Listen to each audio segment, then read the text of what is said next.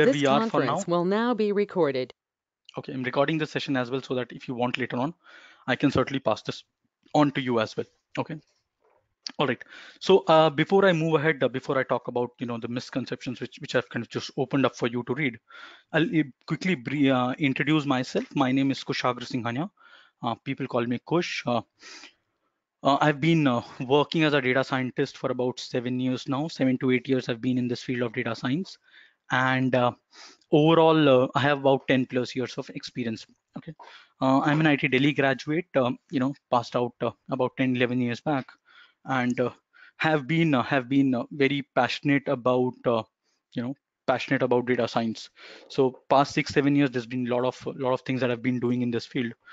These days, we're not just doing a training on data science. That is something which we really love to do. Is why we still do it, and we, you know, we're very happy to help a lot of people get uh, make a good transition into into their careers. A lot of you are stuck in your careers, right? So I I've seen a few people while, while I was working back then, uh, you know, with two years, three years, four years, five years experience, and you know, working bits and pieces into different technologies and uh, um, you're not really you know uh, up, up at anything and you feel that uh, you are uh, you're you're you know you're not up to the mark you think that you you're not in a certain technology you're not really le- learned a lot of things and and the life is just drifting on right?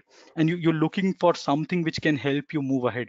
Uh, for all of you know those people who, who feel you know something of that is required um, data science is one field which has come up very strongly right? So we we do train people a lot. We have a specific team which works on projects in data science. Apart from projects we also do a bit of consulting. So so there are multiple areas that dimensionless works in okay this session is all about uh, making you aware of how to make a career in data science. You know a lot of misconceptions a lot of uh, myths about it. I'll try and clarify some of them. Uh, hopefully i'll be able to add value to the session. Okay so on that note let's get started. Uh, next one hour uh, 50 minute shoot is is what we'll expect to be to be pretty good. Okay um so I'm sure you you are able to see my screen and able to read through this. So it says big data is, is same as data science. A lot of people feel that big data and data science are one and the same thing, which is uh, which to be true is is uh, I mean uh, for the matter of fact that's not true, right? So that they're two different things. Uh, data science is all about learning R and Python. It's all about knowing programming languages uh, which again is the biggest myth in data science. So if you, especially for people who in IT industry, right? So since we are working with a lot of code, we are doing a lot of uh, programming every day. I mean that is that is our bread and butter. That's what we do day and day in and day out. And we feel if you know that, you become a data scientist, and which is you know which is so far away from truth that I cannot even tell you. So Python and R are important aspects of data science, but they're not just, I mean, it's, it's not just about that. There's so much more to data science than R and Python. Similarly, I need to be an expert programmer to work as a data scientist. Again, people can verify that it's not about coding skills, it's more about uh, logic, right? So those who have been learning with me can easily vouch for that, that it's more about logic. Basic syntax you need to understand if you spend 30, 40 hours learning things you'll have to go back and you know see what is being done always so there has to be a bit of hands-on more hands-on you do the better uh, it is for you okay uh, then you need to have a degree in uh, to to get to become a good data scientist. Again data scientist is not about degrees. I'll, I'll you know buzz this myth also. It's more about your practical knowledge. Then a lot of people feel that uh, you need to have worked in data related technologies right? Um, you if somebody is a tester they cannot transition to data science. If somebody is from a say .NET uh, .NET background he's, he's a .NET developer or a Java developer they cannot become into uh, come to data science similarly people from quality they feel they cannot get in there right? Or business analysts program managers a lot of people have uh, misconception that since they are working in a certain field they cannot get into data science because it's all about data and they don't know about data. Okay? So that's again one of the very important misconceptions that people have about data science. Um, then when you get started in data science you need to be aware of everything data science data analytics big data artificial intelligence. Without that you cannot get a job or you cannot get a good job in data science. Both of that is the thought is is incorrect. Both of that is wrong that you need to know everything when you get started. When you get started you need need to know only certain specific thing.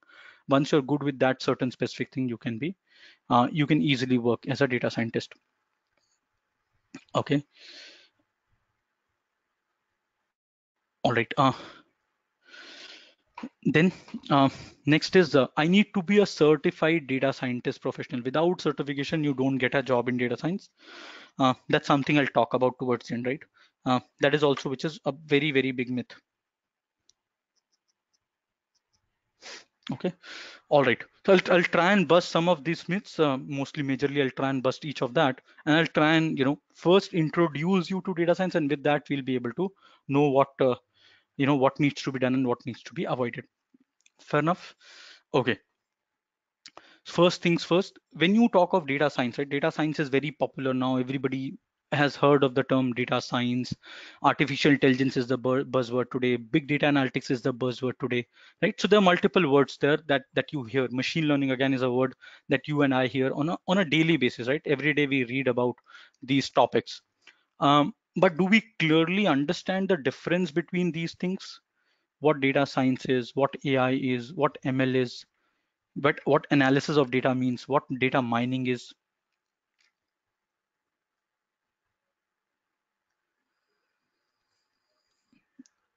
Are we aware of that? No, I'm not. No. Okay, let's just try and. Okay, those who are not able to hear me can uh, rejoin. I'll just put that. Please rejoin. Those who have have are not able to uh, hear me, they can certainly rejoin. Okay. Give me a second. Need. If I speak, they still can't hear me, right? So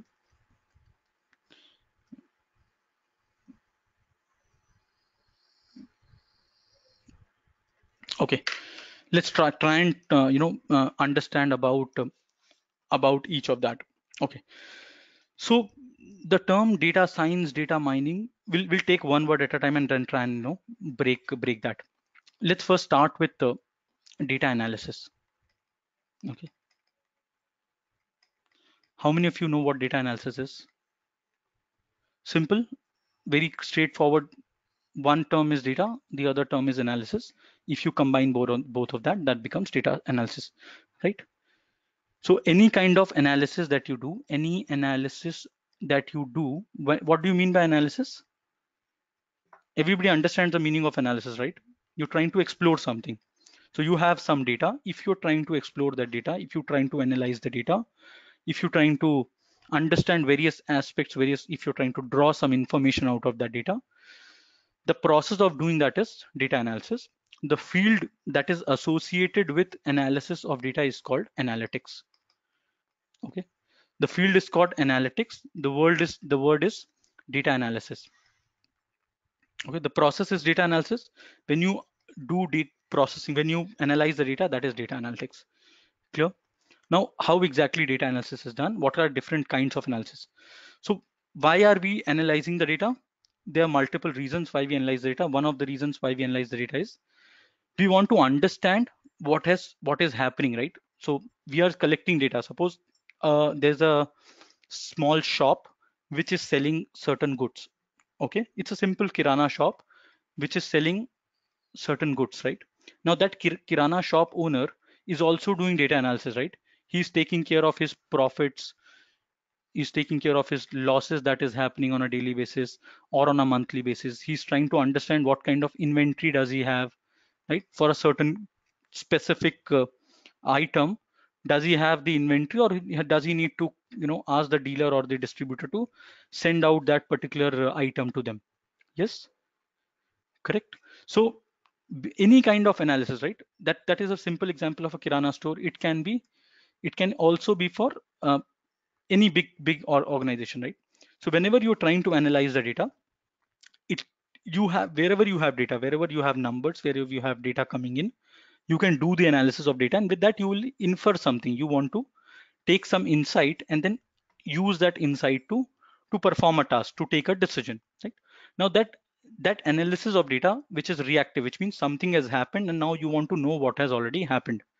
For example the sales in 10 different regions for a given product. Say for example pepsi wants to know what was the sales of uh, its particular product, say Pepsi bottles across Maharashtra. Okay, that it can get in a report. It can have a report where this detail can be had, right? You and I somebody who's working with that data can publish a report saying that okay in the month of january february march eh, i mean different quarters you had different sales or the sale numbers number of units that were sold can be known right based on that now the business will think whether the number is good number is bad why it is good why it is bad. All of that analysis can be done only once you know that there is something right? So when you talk of basic analysis where you're reacting to something has already happened that's your descriptive and inferential analysis. Descriptive means you're describing what has already happened. Inferential means you're trying to infer on why something is happening. So if the sales went down what was the reason for the sales to go down whether it was because of the you know market situations the you know the uh, rains came up all of a sudden you know there's so many things that you can talk of. So the weather was uh, you know pretty pretty cloudy and uh, um, summers was not all that great therefore pepsi sales were down. Can be one simple reason. Or the availability of stock was not there then because of that the sales actually uh, competitor took up took away the lot of sales for us right so when you talk of any analysis of data any kind of data you have if you're trying to analyze the data that's your data analysis. Fine. Any kind of analysis that you're doing on data is data analysis. It can be of various types. It can be simple descriptive. It can be inferential which is i mean understanding about so here if you talk of this part this is about understanding. Here it's more about reporting. You're trying to create report to know what has happened here you're trying to do basic analysis on why something happened right? So you're trying to understand um, the relationship between various factors. Okay i'll talk about this. Relationship between factors. Okay? So output variable how the input different input variables are impacting the output variables. Once you have that understanding you can know this. That that's about data analysis again there can be analysis where we want to figure out what can happen tomorrow. Right now you don't want things to happen and take a decision. You want to proactively figure out what can happen tomorrow. On that basis you want to take a decision today right? So that tomorrow's uh, customer suppose you have certain customers which you want to as a telecom subscriber telecom uh, vendor uh, not subscriber as a telecom service provider you want to know how many of your customers are going to port out to the next uh, company right so if you if you can get those numbers if you can get to know what kind of people are trying to port out of your business. So you are idea and you want to know how many people will move out of your network next month. And if that number is 20 lakh people you would want to do something about it right? Correct? And then you want to figure out what kind of pattern people actually move out right? What kind of things do they showcase? Is it that they call customer care look for some offers they don't get it they move out? Or they they have a lot of network problem then they drop out so you you need to figure out what are the reasons why they're they're moving out based on which you can predict okay at this point the network is bad there is a very high chance that people will move out of our network so let's try and do something about it right? So you're trying to do things beforehand. That's your predictive modeling that's what data science is all about. So data analysis is all about any kind of analysis that you do on data is data analysis process is analytics. Data science per se when you move towards the realm of predictive analysis. What is predictive analysis? Where you are trying to predict a value okay? You are interested in trying in predicting a value on what can happen okay? Correct? You're trying to figure out what can happen tomorrow. That's your predictive analysis okay? And then based on predictions if you can prescribe a solution that's prescriptive that's something which is still not that prevalent we are still working primarily on predictive analysis right now why is it that data science or predictive analytics has become so popular today? See if you have heard of the term business intelligence how many of you have heard, heard of the term business intelligence?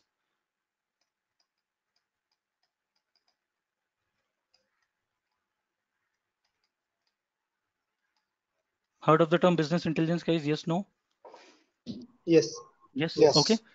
Yes, so what happens in business intelligence? You are trying to you have some data. You try and clean and transform that data. Once the data is cleaned and transformed you put into warehouse. And then once the data is is in a structured format you try and generate reports with that data. Correct? You try and generate reports with that data right?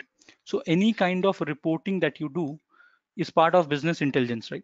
Till now for the past 10 15 years the businesses were focusing on what has already happened and why something is happening.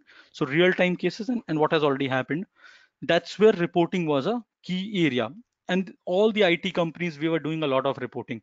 Even now, there's a lot of projects where you know BI people work. They are trying to work with uh, uh, creating reports and understanding how it can help businesses. Okay, but now this is not enough, right? Only reporting data is not enough. Now the world is changing. You want to have the com competition is so so much. We are generating so much data. The processing power is so good that now you want to utilize that and then you what you want to do is you want to come ahead uh, come up with uh, with ways and techniques where you can not just talk talk about uh, how data analysis is happening you're also talking about uh, uh, what can happen tomorrow and then you want to take a decision based on that right so if your customer can come up with a new business model tomorrow you don't want to wait for that customer to come up with a business model tomorrow. You want to start taking a decision today so that you can you can um, you can counter their their impact beforehand right? Similarly you don't want to have your customers leave uh, you know leave your network and then getting them back would be a major challenge. You, you that that's a more difficult task to do okay? So when you talk of data science it's all about uh, uh, it's all about if you talk of data scientist profile right i'll just talk about this also in a while so when you talk about data science it's about predictive modeling right? And how will you predict the values? How would you create a predictive model to be able to create a predictive model to be able to, you know, uh, know what can happen tomorrow? What you try and do, you try and see the pattern in data. Your primary interest is to see what kind of patterns exist in your data, right? If you are able to figure out what kind of pattern exists in data, which means I told you, right? if you know that customers are asking for a lot of offers and those people move out. So if you see there are a lot of offers being you know customers call you and they say uh, you know i'm looking for a certain offer and they don't get that offer they they move out of your network. So you would not want that to happen. If you see a customer has called twice or thrice for some offer you try and give them some offer to retain that customer before he actually moves out right?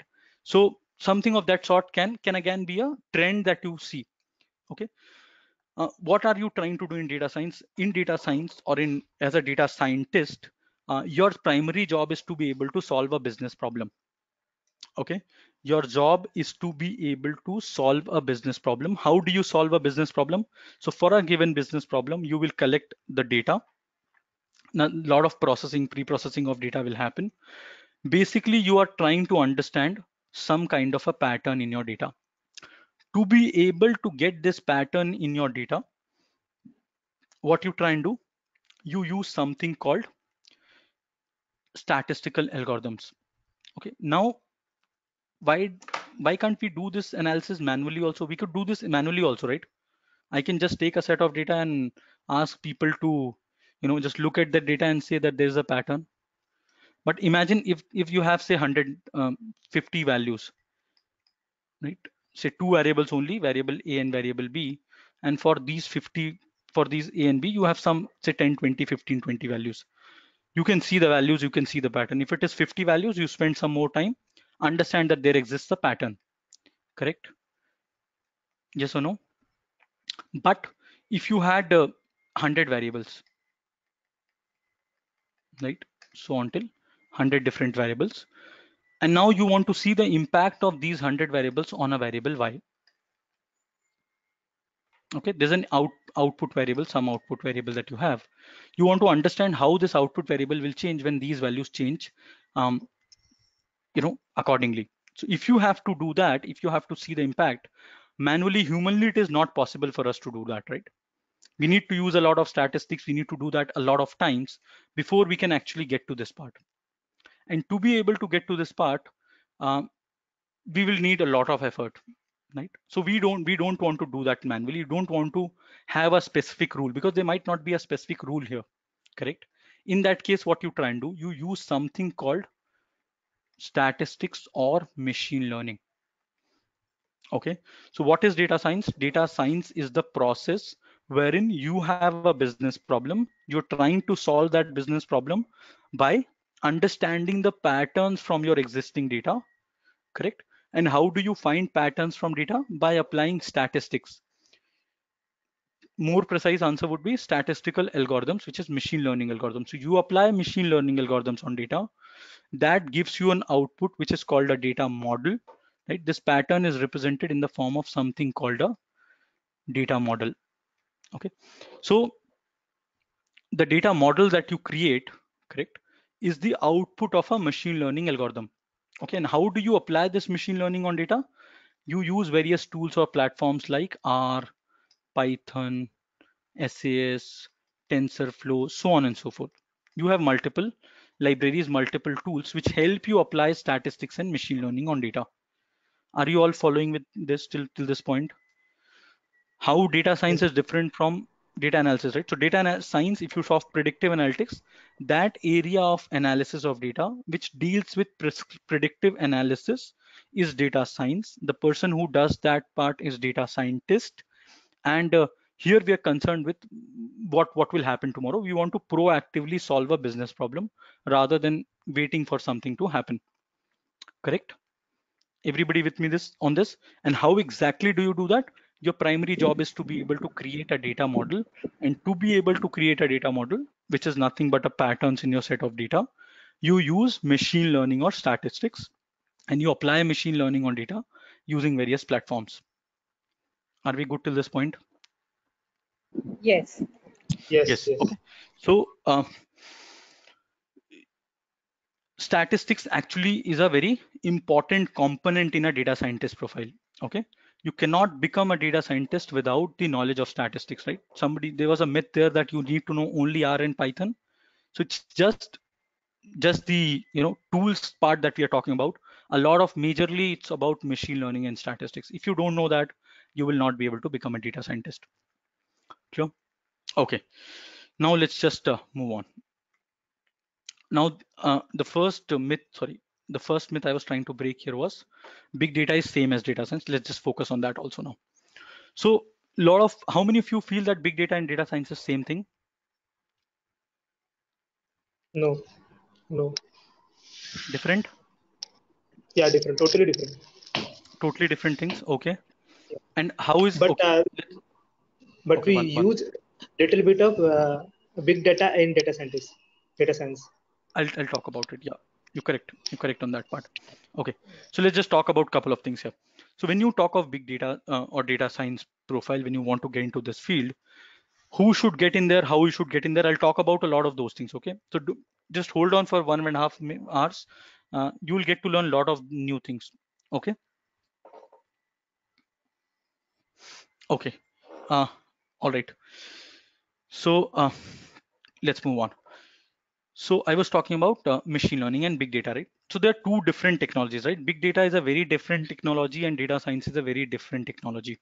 And there's something called big data analytics, which is uh, which is here. I'll talk about each of this.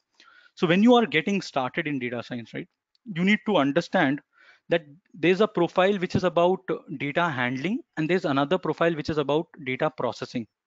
Okay, if you are somebody who is only concerned with how to handle data, how to store so much data which is being generated and how quickly to retrieve it, um, you are primarily focused on a big data developer profile. Okay, so you get a data a data engineer's profile or a big data Hadoop developer profile when you when you are trying to get into big data. Your primary job is to be able to handle the data. Right? It's a very technical profile. It is a, a little a very code oriented profile. Right? It involves a lot of coding. Um, the data scientist profile. Sorry, the I'm really sorry. The big data engineer profile. Okay but when you talk of data scientist profile, as I mentioned some time back, it is more about understanding the pattern. It's about pattern recognition using which you will try and solve the business problem. So data modeling, pattern recognition, uh, processing of data, that becomes an important portfolio of a data scientist.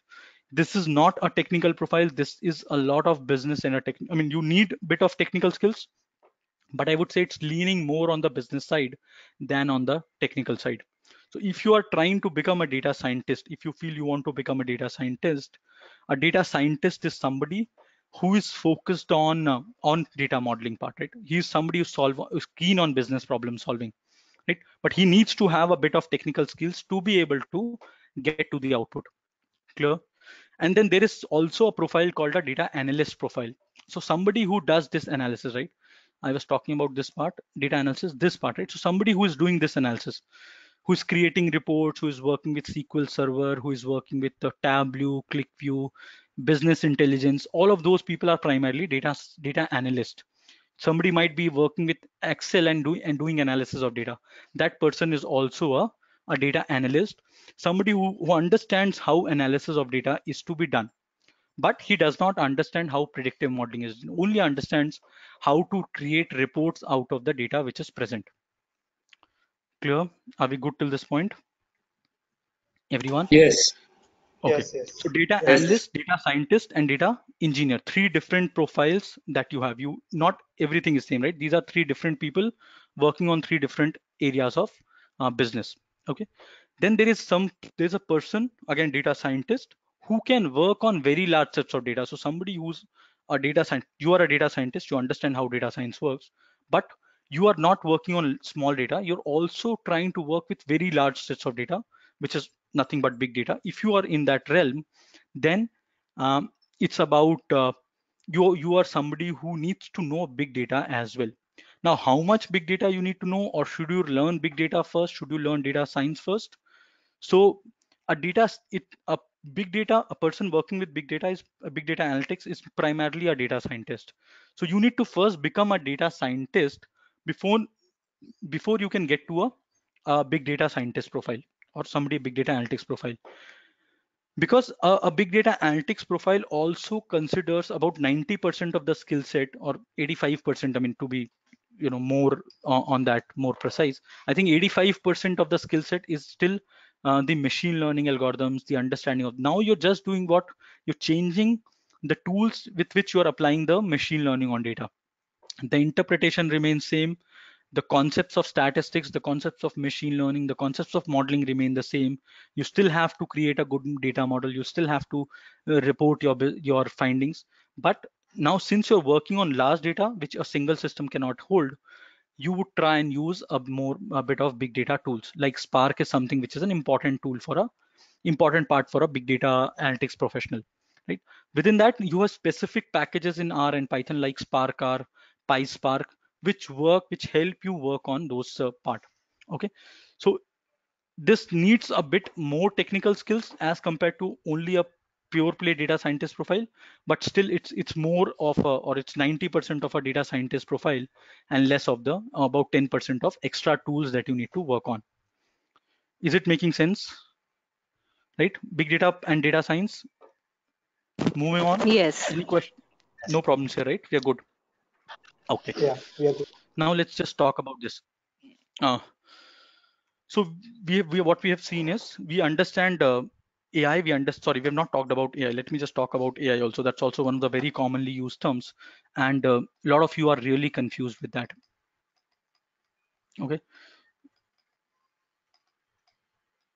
So you would have heard of the term data and artificial intelligence. And i'm sure everybody thinks that they want to become a you know you want to get into artificial intelligence. You want to become an expert in this right?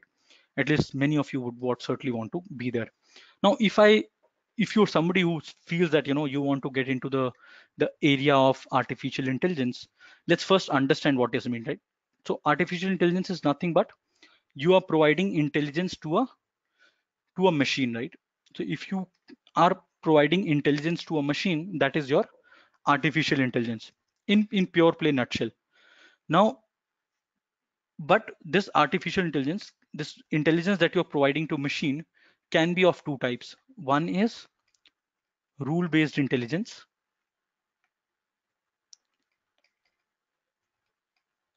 The second is um, second is through machine learning. I'll just talk about this. So it's it's not rule based it's it's machine learning the rules on its own. Okay? Um, so if you take this realm suppose this is ai within that you have something called machine learning and within that something called deep learning okay three different terms. so this is sorry i'll just incorrectly put that if you take this as ai everything is ai this is your machine learning and this is your deep learning okay So let's just focus on this once again. This is important, okay? Just pay a little more attention here. Now, when I say artificial intelligence can be rule-based intelligence or can be machine learning, there are two things to it, right? Now, any kind of automation that you're doing, right? If you're asking the machine, we're saying we're making a machine intelligent. What does that mean?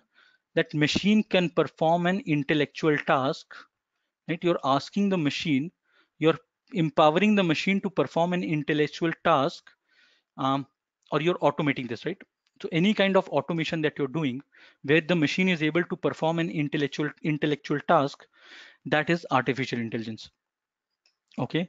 If your machine is able to perform an intellect, intellectual task, it is your uh, that comes under the purview of artificial intelligence.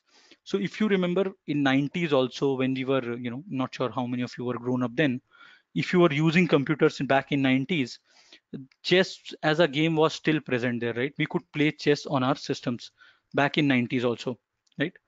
Now that chess that the machine was, you know, there was that uh, you could play with with the computer. Even now you have those games, right?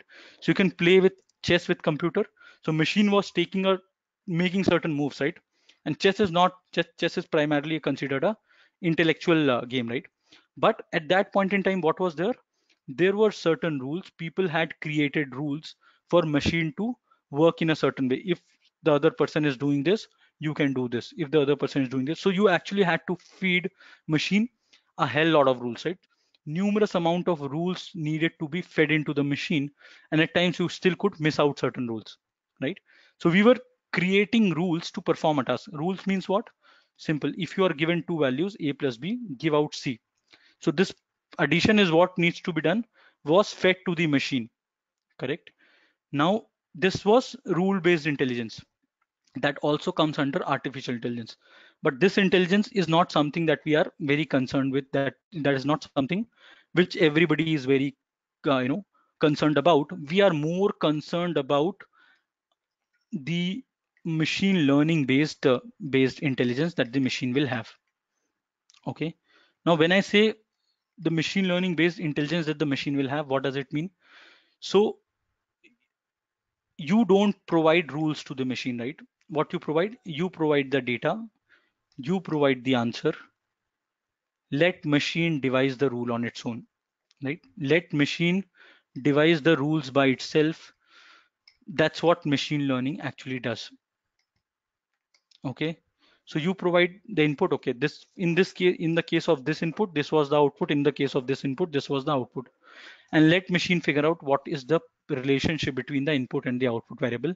It will decide the route for yourself for itself. Are you with me, everyone? Yes. Yes. Yes.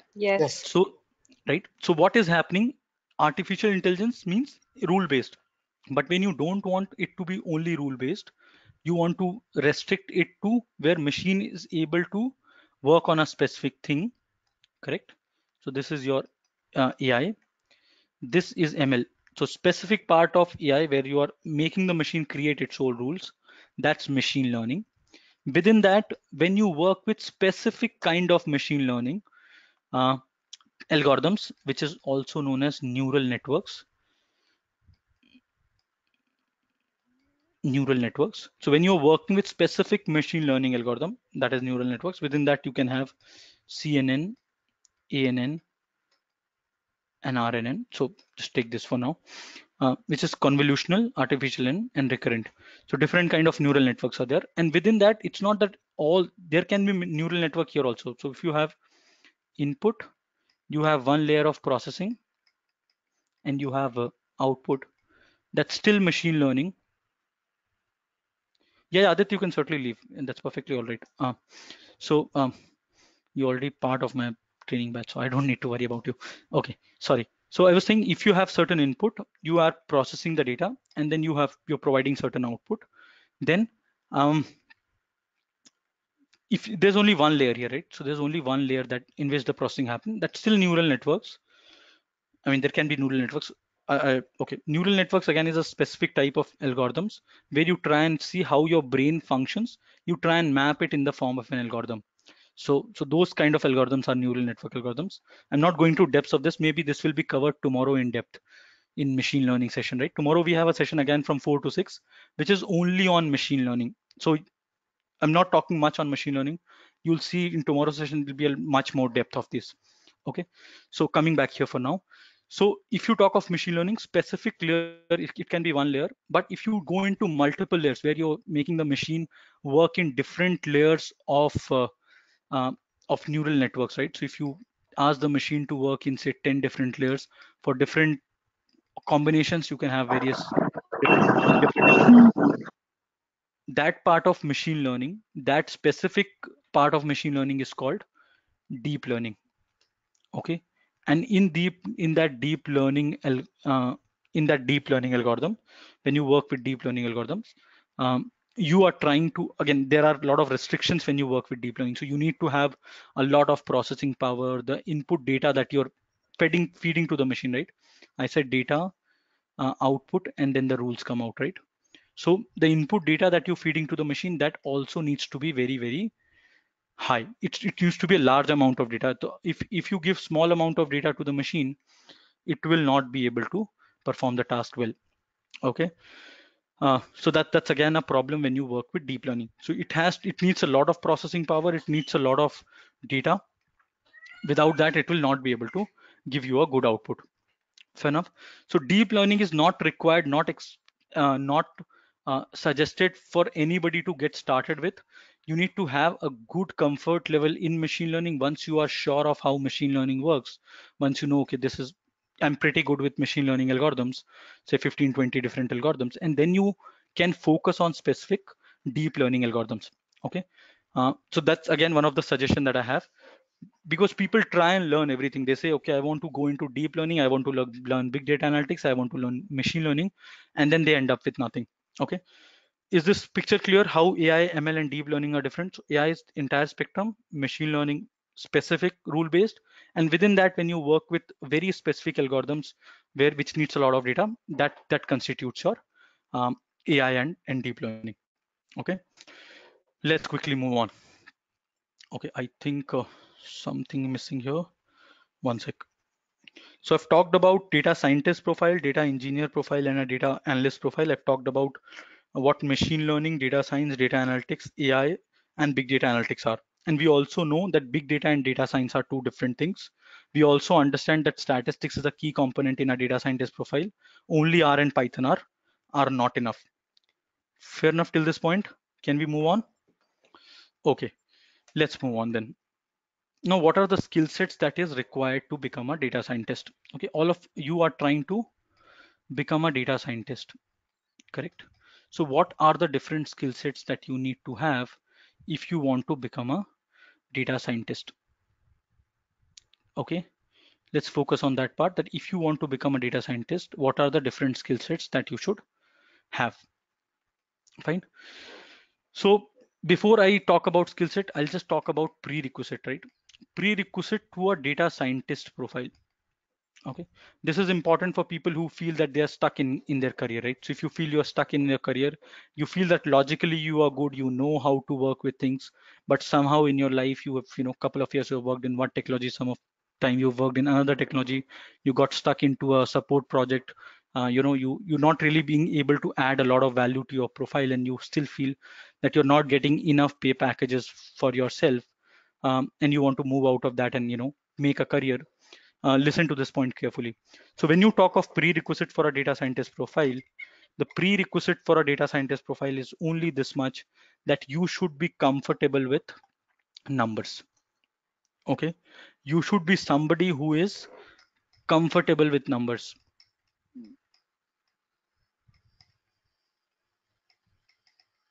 Okay, now when I say you should be comfortable with numbers, what does exactly what does it exactly mean?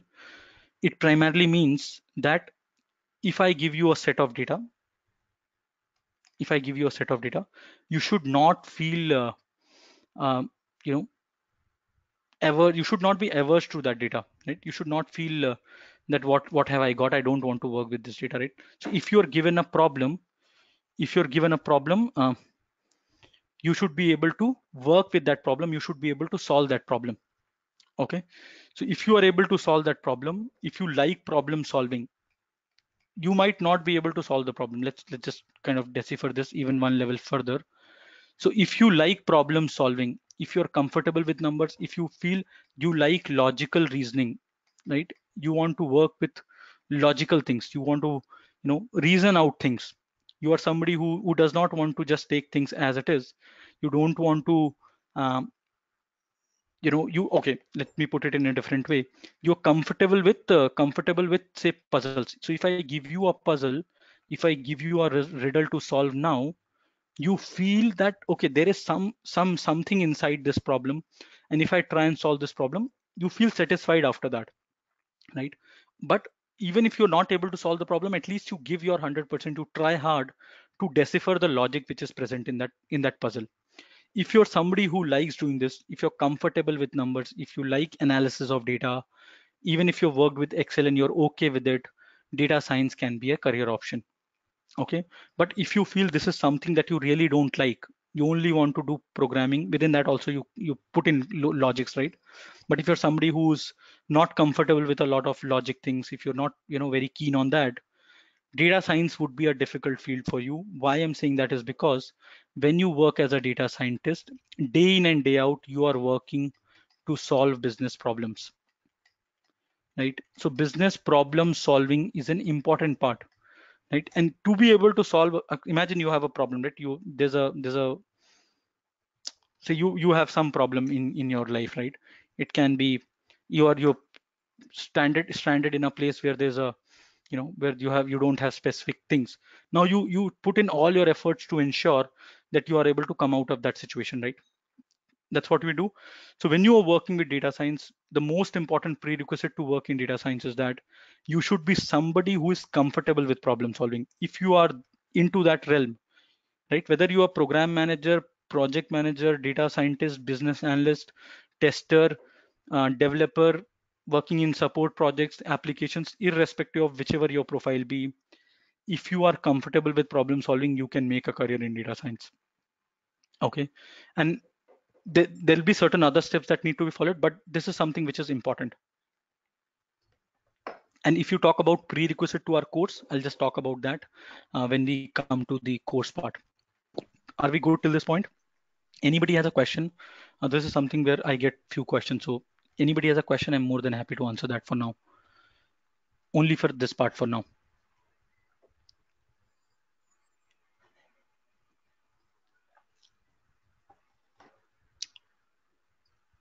No? We're good? Okay, let's move on then.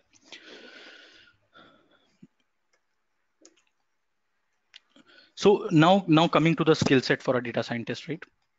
Now in this part, again, I'll be busting few myths. One is, as I said, uh, that you want to uh, work with data science. Okay, so the I'll use my PPT also for now. Let's see. So there are uh, different skill sets, there are different things that you need to learn and this skill set is not when you start learning data science. This is the skill sets i'm talking about is when you apply for a job as a data scientist right? When you apply for a job as a data scientist at that point in time what is the skill set that you should have? I'm focusing on excuse me i'm focusing on that part for now okay? So there are three things here. One is the understanding of domain. Second is the programming knowledge. And the third thing is the knowledge of statistics. Okay, let's just focus on, you know, what is the, to what extent, what, what is important, right? We'll focus on all of that. First, let's talk about domain. What do you mean by domain? Domain knowledge. If I'm using the term domain knowledge, anybody who can tell me what does it mean?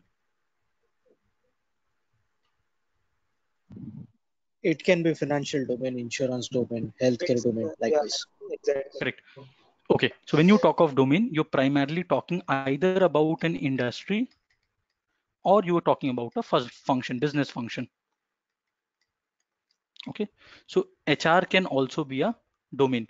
Operations can also be a domain. Yes? Uh, means exactly means what kind of data you are handling, it will be domain. Yeah. So the problem when you talk of, so suppose you're working, currently you're working in a retail project, right? You understand how retail industry works. Your client gives you certain problems to solve, some certain code to write. You are handling their processes. So if you are from, if you have the knowledge of a given domain, it helps you solve the problem pertaining to that domain. Okay correct? So what is domain knowledge? Domain knowledge is nothing but the knowledge about a particular industry or about a business function. Now this is not compulsory for everybody to have. That's first thing. It is important for people who have a lot of experience. If you have 10 years 12 years 8 years that kind of an experience domain will become important. If you have less than that don't worry about domain. You can leave the domain part aside and you you can still be very good with it okay. So the percentage of uh, importance of domain will keep increasing with the amount of experience that you carry. As you have more and more experience domain will have more weightage. Initially it's less than 5% okay. All right. Now what is domain knowledge? It's more about business understanding. You need to understand what are the different processes which happen in a given business area. And if you have the uh, knowledge of that why is that required basically? Why do you think we, we require domain knowledge what is the need for domain knowledge? To solve the problem to understand the problem. Correct. More important to solve the problem it is to understand the problem right? So if i want to understand a business problem suppose i give you a problem about oil and gas sector that what kind of you know temperature and pressure should be there and stuff uh, half of the terms you would not understand right? If you're not from that industry. Correct?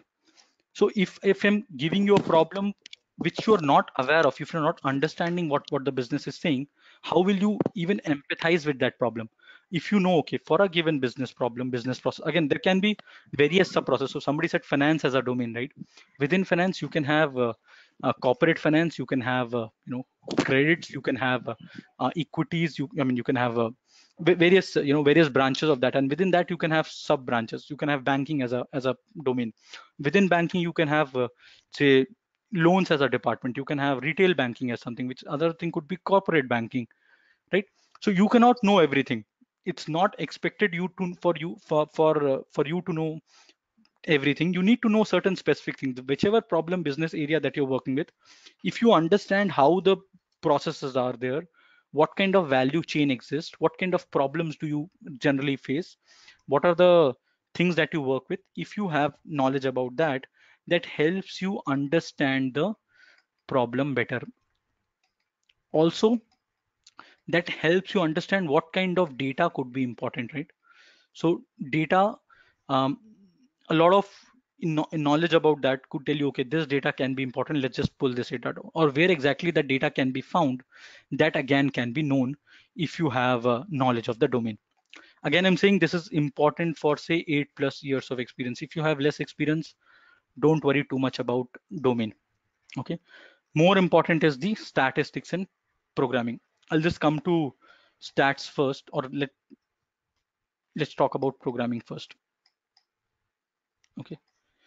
Now this still has certain weightages say 30 percent weightage because these are the tools. Programming or just say tools as well here. So within this i'll cover multiple you need to know multiple things. SQL is something that you need to know when you apply as a data scientist because when you are trying to analyze the data, it's not that a data engineer is always available to give you the data. The data might be residing in some other place, in some databases. So you are expected to be able to at least fetch that data, right? So basic SQL queries, you don't need to be an expert in SQL. If you know basic SQL queries for which you need to, if you spend say four or five days learning basic SQL, that might be enough. It's more about working with problems. If you work with a lot more problems, I mean, if you solve a few, take a database, solve a few queries, do that for five, seven different days. I think you should be good enough to start as a data scientist. That much, only that much SQL is required in data science.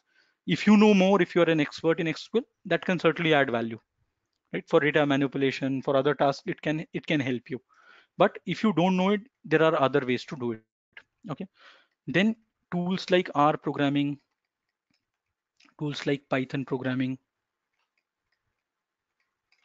Okay, these are also important tools. Now, why I'm talking about only R and Python, why I didn't talk about Java, Weka, SAS, SPSS. There are multiple tools available to perform analysis of data. Why are we focusing only on these two tools? They are open source. Okay, two reasons. Uh, more than open source. Open source again is an important uh, pointer there. These are open source tools, which is they are free to use. And since they are free to use, the more important part here is uh, that these two tools are used in about 85% of the projects. Okay, I'm sorry, there's a lot of disturbance from somebody said, can you mute? Somebody's child is, is uh, saying something. Please, guys, if you could mute, that will help. Okay, 85% of the projects today are handled in. 85% of the projects in the industry today are are handled in these two tools. Okay? So when you are trying to get into data science data science if you know if you have the knowledge of both r and python 85% of the openings you are sure you will get a chance into right? And i think initially you can focus only on that the rest 15% is others. And say if you are from deep into finance sas can be helpful. Otherwise sas is not used. The use of sas is receding day by day right? People are not using sas it's a paid tool. It's a uh, it's a very heavy heavily licensed tool. So people don't want to use sas they're using r and python prim primarily. Okay? Because these are open source free to use tools and they're 85% of the projects are done. Now what the reason is uh, the question arises why 85% of the projects are done in r and python?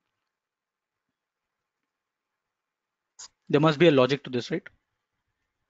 See so for, they are statistical language. Not all of them yeah. So r primarily is a statistical tool. R was built for statistical analysis only.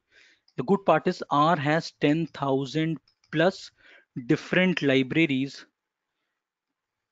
I'll talk about library and function. I'll just answer one more question here. So r when you work with r and python there are 10000 plus libraries which means there is a lot of pre-written code right?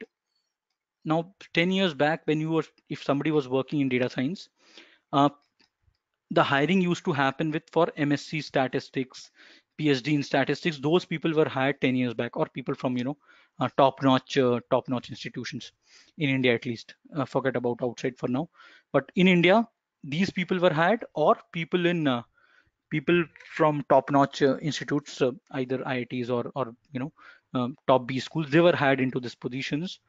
And why that was the case? Because it was not easy to work with this right? B, b school people are focusing on the business side. These people were focusing on the technical side of it. Now that divide has also kind of you know shrinked it's not that technical is a separate thing and in business is a separate thing a data scientist works on, on, on the entire pipeline okay why it is uh, it is that uh, that that's now we are able to hire even a person with two years experience in data science or even freshers are also hired in data science today. Why is that the case? Because when you work with R and Python, there are so many libraries, so much of code has already been written, which is freely available to everyone that you don't have to do the analysis. You don't have to worry about writing an, a thousand line code to perform a task. A one line of code is enough to do the analysis. Okay. Are you able to understand? So if you have to do say if you have to apply a specific model on data, it just needs two lines of code. Those two lines of code can perform any kind of model on your data. To write, if you are writing say 100 lines of code, that might be enough to do two projects in, in R. Okay, that should not be very basic code, but imagine, you know, 100 lines of code, if with 100 lines of code, if you can, you know, solve an entire project, how powerful that language is, you can, you can get to understand that, right?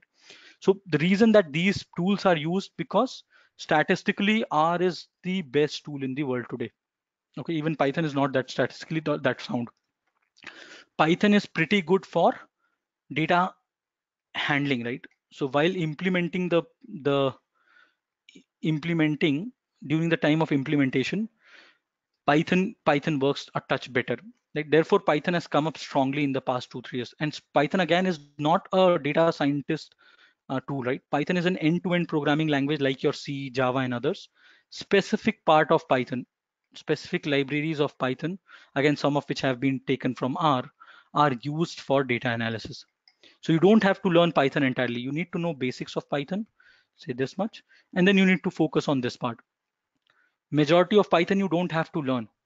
Okay. So somebody who is from a non-programming background should not worry about getting into programming in data science primarily because you don't have to write a lot of code. If you understand libraries, libraries is nothing but a set of code, set of functions. Library contains set of functions. So if you include a certain library in your code, those functions are available and uh, you can just call that function. You can use that function to perform a task. To explain this, I'll just use the help of Excel. So people from non-programming background, don't worry if you don't know any uh, programming. In, and even if you from IT field, if you have not done programming for ages, don't worry about it. You can still become a data scientist. Okay. So if I say I've got numbers, say, just remove this. So I take, these are the numbers, right? Now I want to find the standard deviation of these numbers. Okay, that's what I'm, I'm interested in. So if I have to work with Excel, what I do, I'll just pass the formula. Right, and I've called this function. Now this function is performing this task. Did I worry about how standard deviation is calculated? I only need to needed to know what stdev function means what kind of arguments that function will take, what kind of inputs will it take, and when it gets give you certain output, what do you mean by that output? Correct? That's what we are focused on. Do you realize that here? Yes. So when you work with Yes. data science, when you work as data scientist, you don't have to worry about programming. Programming will be required. I'm not saying it is not required. It's not as straightforward as Excel also, but it is pretty similar to Excel than to programming. It is pretty close to uh, pretty close to Excel uh, when you compare that. So if you know very basic programming, say if you have written one or two programs in your life, you should not have a problem learning data science. Okay. So that much very, very, very basic programming is required to get into data science. You don't have to become an expert coder. There was also one, one of the myth that you need to be expert coder without having the knowledge of programming. How will I become a data scientist? The reason is you don't need to know it. If you spend 50, 40, 50 hours learning R, if you, you know, 30, 40 hours of live training we do, if you spend 20, 30 hours on your own, that is more than enough for you to get start to, to you know, know 60, 70% of how R works. And with that, you can easily move forward. Okay. Similar with Python. Now, should you learn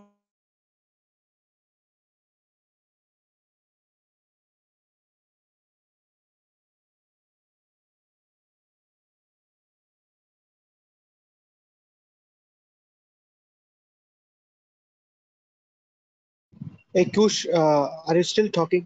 Uh, I'm unable to hear you. Yeah, I said, now you're able to hear me, right? So I said, Yeah, yeah, Um, yes. yeah, I said, when you're working with uh, R, should you learn, when you're trying to get into data science, should you learn R or should you learn Python or should you learn both? What is the take in that? R will be good. Uh, after that, R is good. R is good, okay? Yeah. Okay, see, when you are trying to get started in data science, um, I always suggest, earlier, say two years back, I would, I used to suggest go for R.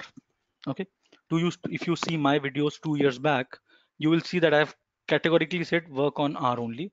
That is enough to get started. But in the past two years, the scenario has changed, right? Um, and why it has changed? Primarily because the industry uh, for implementation purposes, when you work with big data and stuff, Python becomes a more important tool, right? Now, there are a lot of people out there who know both R and who know Python as well.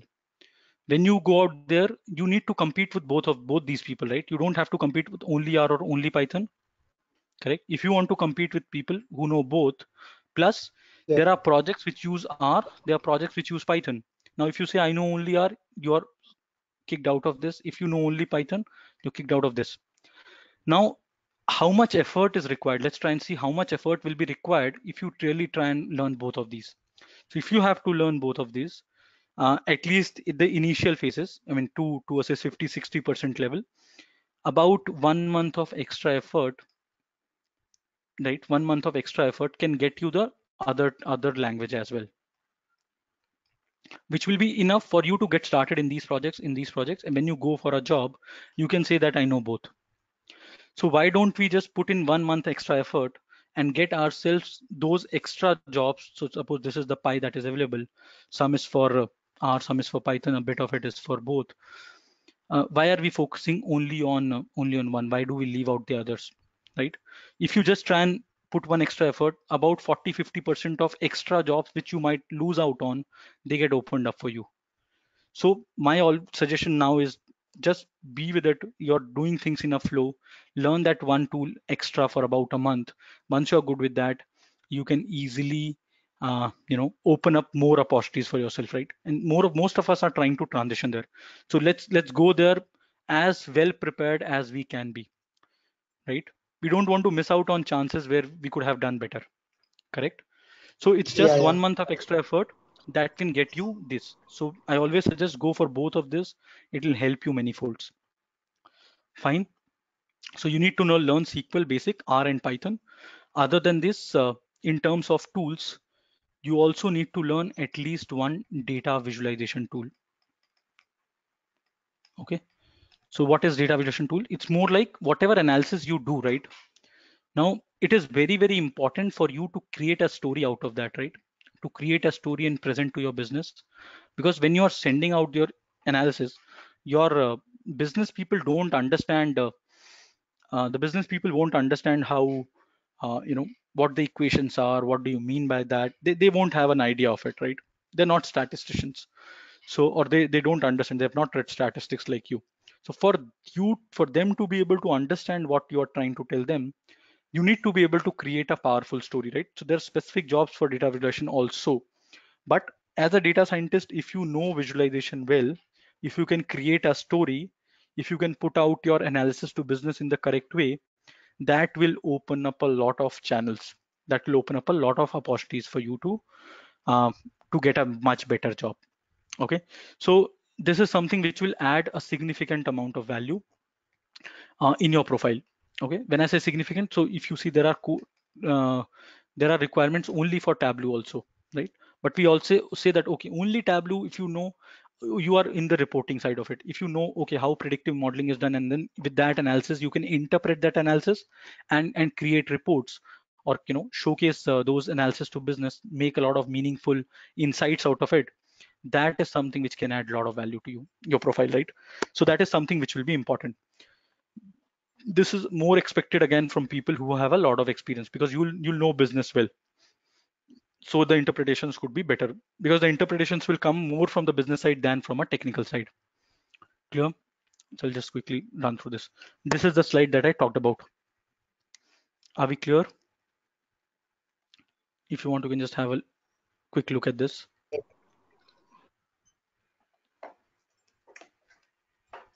all right. Let's talk about the other important skill set. So i've talked about two things. I've talked about domain. I said that is very important for people or that is important for people more than 8 10 years experience. With less experience don't worry about it. Uh, programming the sql the um, visualization tool that is important for everyone. That you cannot miss out. You'll have to learn it. Learning that is easy. It's not difficult. You can easily learn it. Okay. Now the other part is statistics which is the worrisome part right I'm sure a lot of you have not learned statistics or not seen statistics for ages, at least for the past uh, uh, five years, ten years. You know, a lot of people with different experience. You'll, you've not you've not seen statistics for ages, correct? Maybe not in engineering, not in your uh, current uh, working uh, Yes. environment. So this is something which which we all are, you know, worried about, correct? So understand these things I'll tell you what all statistics you need to know, how, how you need to know that, and how will we teach all of that. Okay, so let's focus on that one at a time. First thing is, within statistics, there are three different kinds of statistics that we'll be learning, or that you need to learn. One is descriptive, the other is inferential, and the third one is machine learning. Okay, I'll not talk much about this. I'm I've already said that there's an entire session which is dedicated to this part. I'll still touch upon this a bit. Okay. All right. Uh, then uh,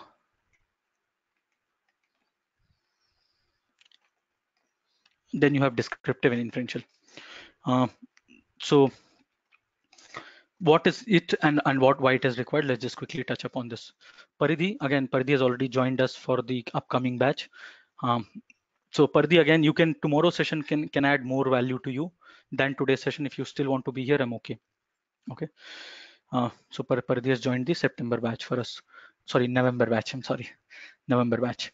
Um, okay, coming back here, statistics part. Yeah. So I was talking about descriptive statistics. What is descriptive statistics? Descriptive statistics is something that you do on a day-to-day -day basis. We all of us use it, not to a great extent, but still we use it, right? So finding mean, finding average, you know, we have uh, must have read about standard deviations. We have uh, understood about distributions of data. This all of this we have we have certainly read in our uh, class 6 seventh, tenth, twelfth. Somewhere we must have seen this right? All of this, the descriptive statistics, the mean, median, mode, the standard deviation, the kind of distribution the data follows, it is primarily about being able to summarize a data set. Okay, so you want to take a data, summarize all of that into some logical, uh, logical conclusions. Okay, if you want to do that, that's your descriptive statistics. Clear? Fine. Now, why do you need descriptive statistics? What is the purpose of descriptive statistics when you're trying to become a data scientist, right? That question arises in everybody's mind. Why do you need to use it? So if I am learning something, there must be a logic, there must be a use of it, right? So if you have heard of the term exploratory data analysis, how many of you have heard of the term exploratory data analysis or EDA as it is commonly known as? I'm just scribbling through. Okay, yeah. Exploratory data analysis or EDA. Have you heard of the term? No. No? Okay. Let me just uh, No. tell you this. Okay. So no problems. Don't worry. So when you talk of exploratory data analysis, basically what happens when you take a data set, right? It's not that the data is good enough to create a model out of it, right? it's, it will not be that you have taken a data raw data from some system and you just directly apply a model and you get the output it will not work that way if you try and work with that day in with, with in that way what will happen is if your data is is bad the predictability of your output will be will be poor correct and do you do you want to predict values suppose you as a business are able to predict values only 50 percent of the times correctly would you want to use that model? No, right? If your model can predict 50% of times correct, 50% of the times it is wrong, right? So Yeah. there's no point using that model because I'm, I'm going Yes. to be wrong most of the times, right? And that will happen if your data is not good. Okay. So whenever you have, when you work with data, data, I mean, whenever you work as a data scientist, um, quality of data will play an important part. okay quality of data will play an important part now it's not that we'll get a good quality data but we can always improve the quality of data okay and how do we do that There's some voices coming and disturbing. okay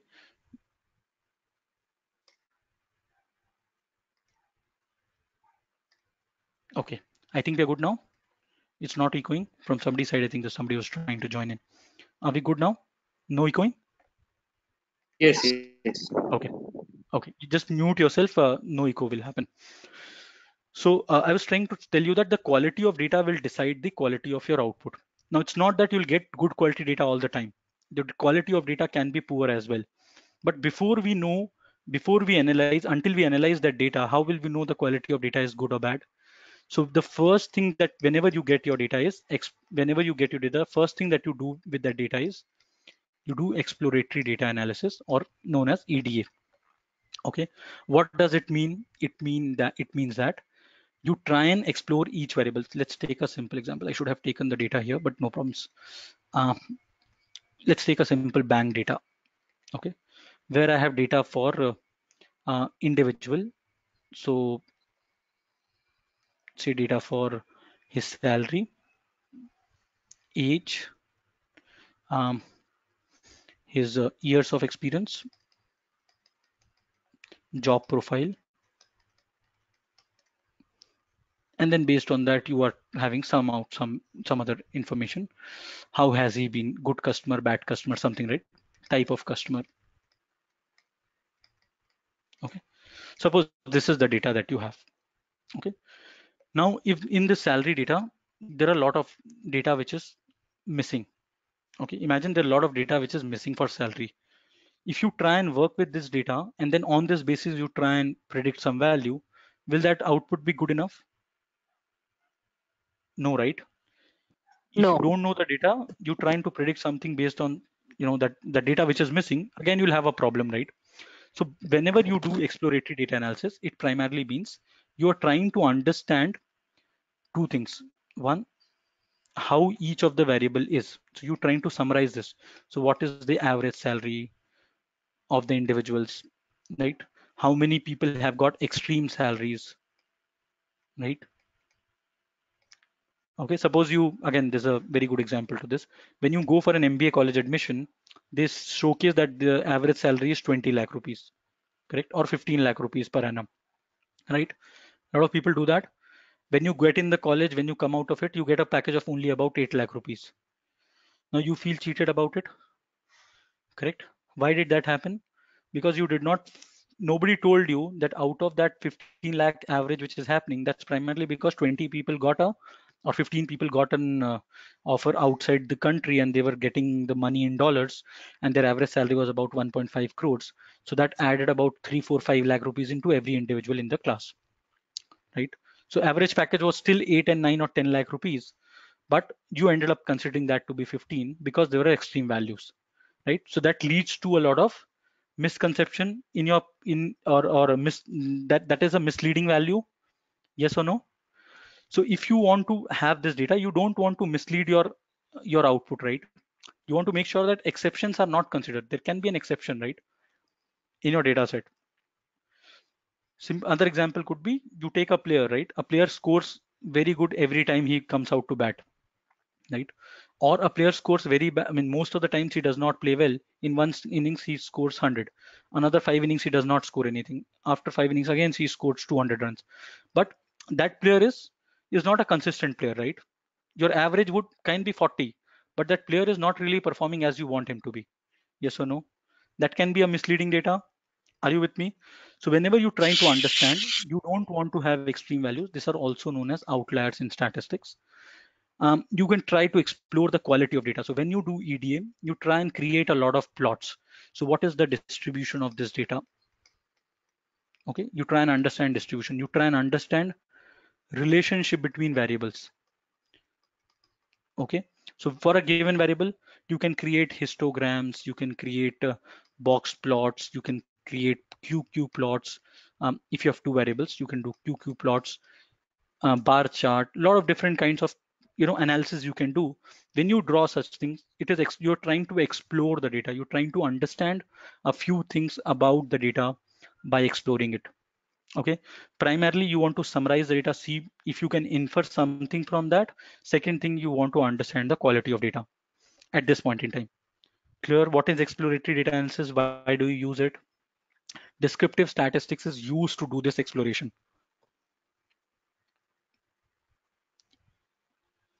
Are you guys with me? Un- understood, sir. Understood. nothing is bouncing here right? Everybody's fine. Should not go into only two or three people's head. Everybody should be able to follow this. Yes? Any question at this point in time you can ask me. I'm more than happy to answer we are good okay? I'm considering we are good. Alap following. Alap again is a referral Yeah. student. Yeah. okay. Okay Yeah. good. Thank you. Chalo let's move on. So exploratory data analysis is what is required whenever you do the analysis. So this will help you understand the quality of data and that that you will be able to do with descriptive statistics okay? Then comes inferential statistics. Let's just focus on this. Inferential stats what is inferential statistics and why do we need it again? So as the name says inferential means you can infer from the data. It will help you make inferences. So when you create a data model when you have applied the uh, algorithm on data what would happen is you would get certain output out of that right? A certain output statistical output is what will come out when you apply a machine learning algorithm on data now what is the quality of that output? How good or bad that output is? Oh sorry uh, yeah so how good or bad that output is? What is the statistical significance of that? What kind of variables are important? Which all variables should be dropped? A uh, lot of those analysis a lot of those interpretations will be will you can do when you work with inferential statistics when you have understanding of inferential statistics. So one thing i told you about being able to in, interpret sorry being able to interpret the um, output. Okay. Second thing is when you work with inferential statistics you need to understand about the population data. Now what is population? What is sample? I'll talk about it right? So you basically are concerned with having to know how population data works. Um, but and you want to figure this out from the sample data. So you want to infer about population. I'll just say infer about population from sample data. Okay. That's where inferential statistics comes into picture. So making inferences about a population about a population from a sample that's inferential statistics. Within that you have various topics hypothesis test t-test z-test anova uh, covariance right? Lot lot of these, these things correlation multiple topics estimations a lot of that are there right? Let's try and understand this. Now what do you mean by population in statistics? How many of you know what is population in statistics? Basic population i'm sure everybody knows.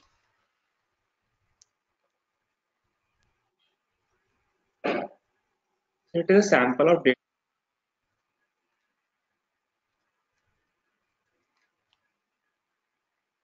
It is a sample of data, okay? See, there are two different things. Population is different and sample is different. Anybody has any idea? You want me to talk about it? So it is with the people uh, with whom you have done a survey. No, no, no. Okay, let, let me try and tell you this. Sorry. Okay, let me try. Let me try and help you. Okay, see when you talk of population in statistics, population primarily means the entire data set that is in question.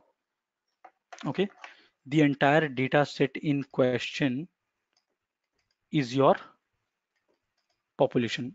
Now, what does it mean when I say entire data set? Let's take an example and understand this.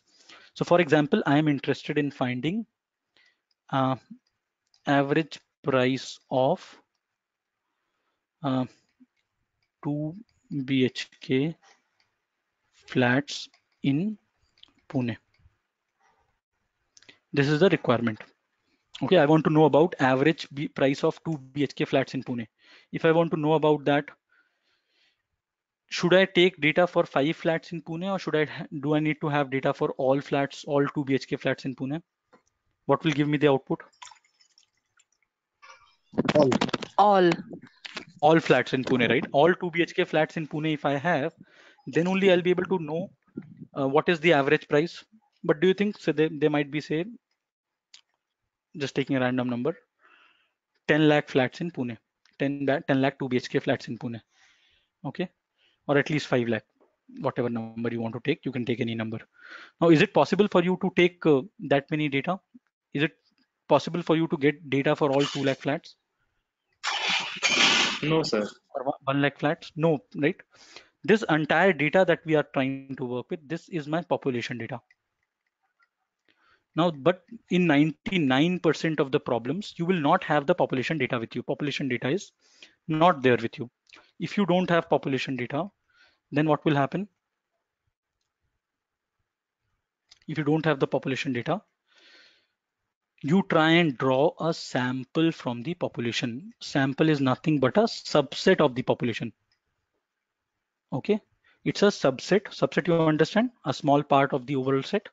So from the bigger set, this is the bigger set, you draw a small set. You can draw multiple subsets also. and that is called sample you will analyze the sample and based on the analysis that you do from sample you will try and understand how the population would behave. Okay? You would try and infer about the population from the analysis that you do about the sample. Is this statement clear to everyone? Population sample two things clear to everyone?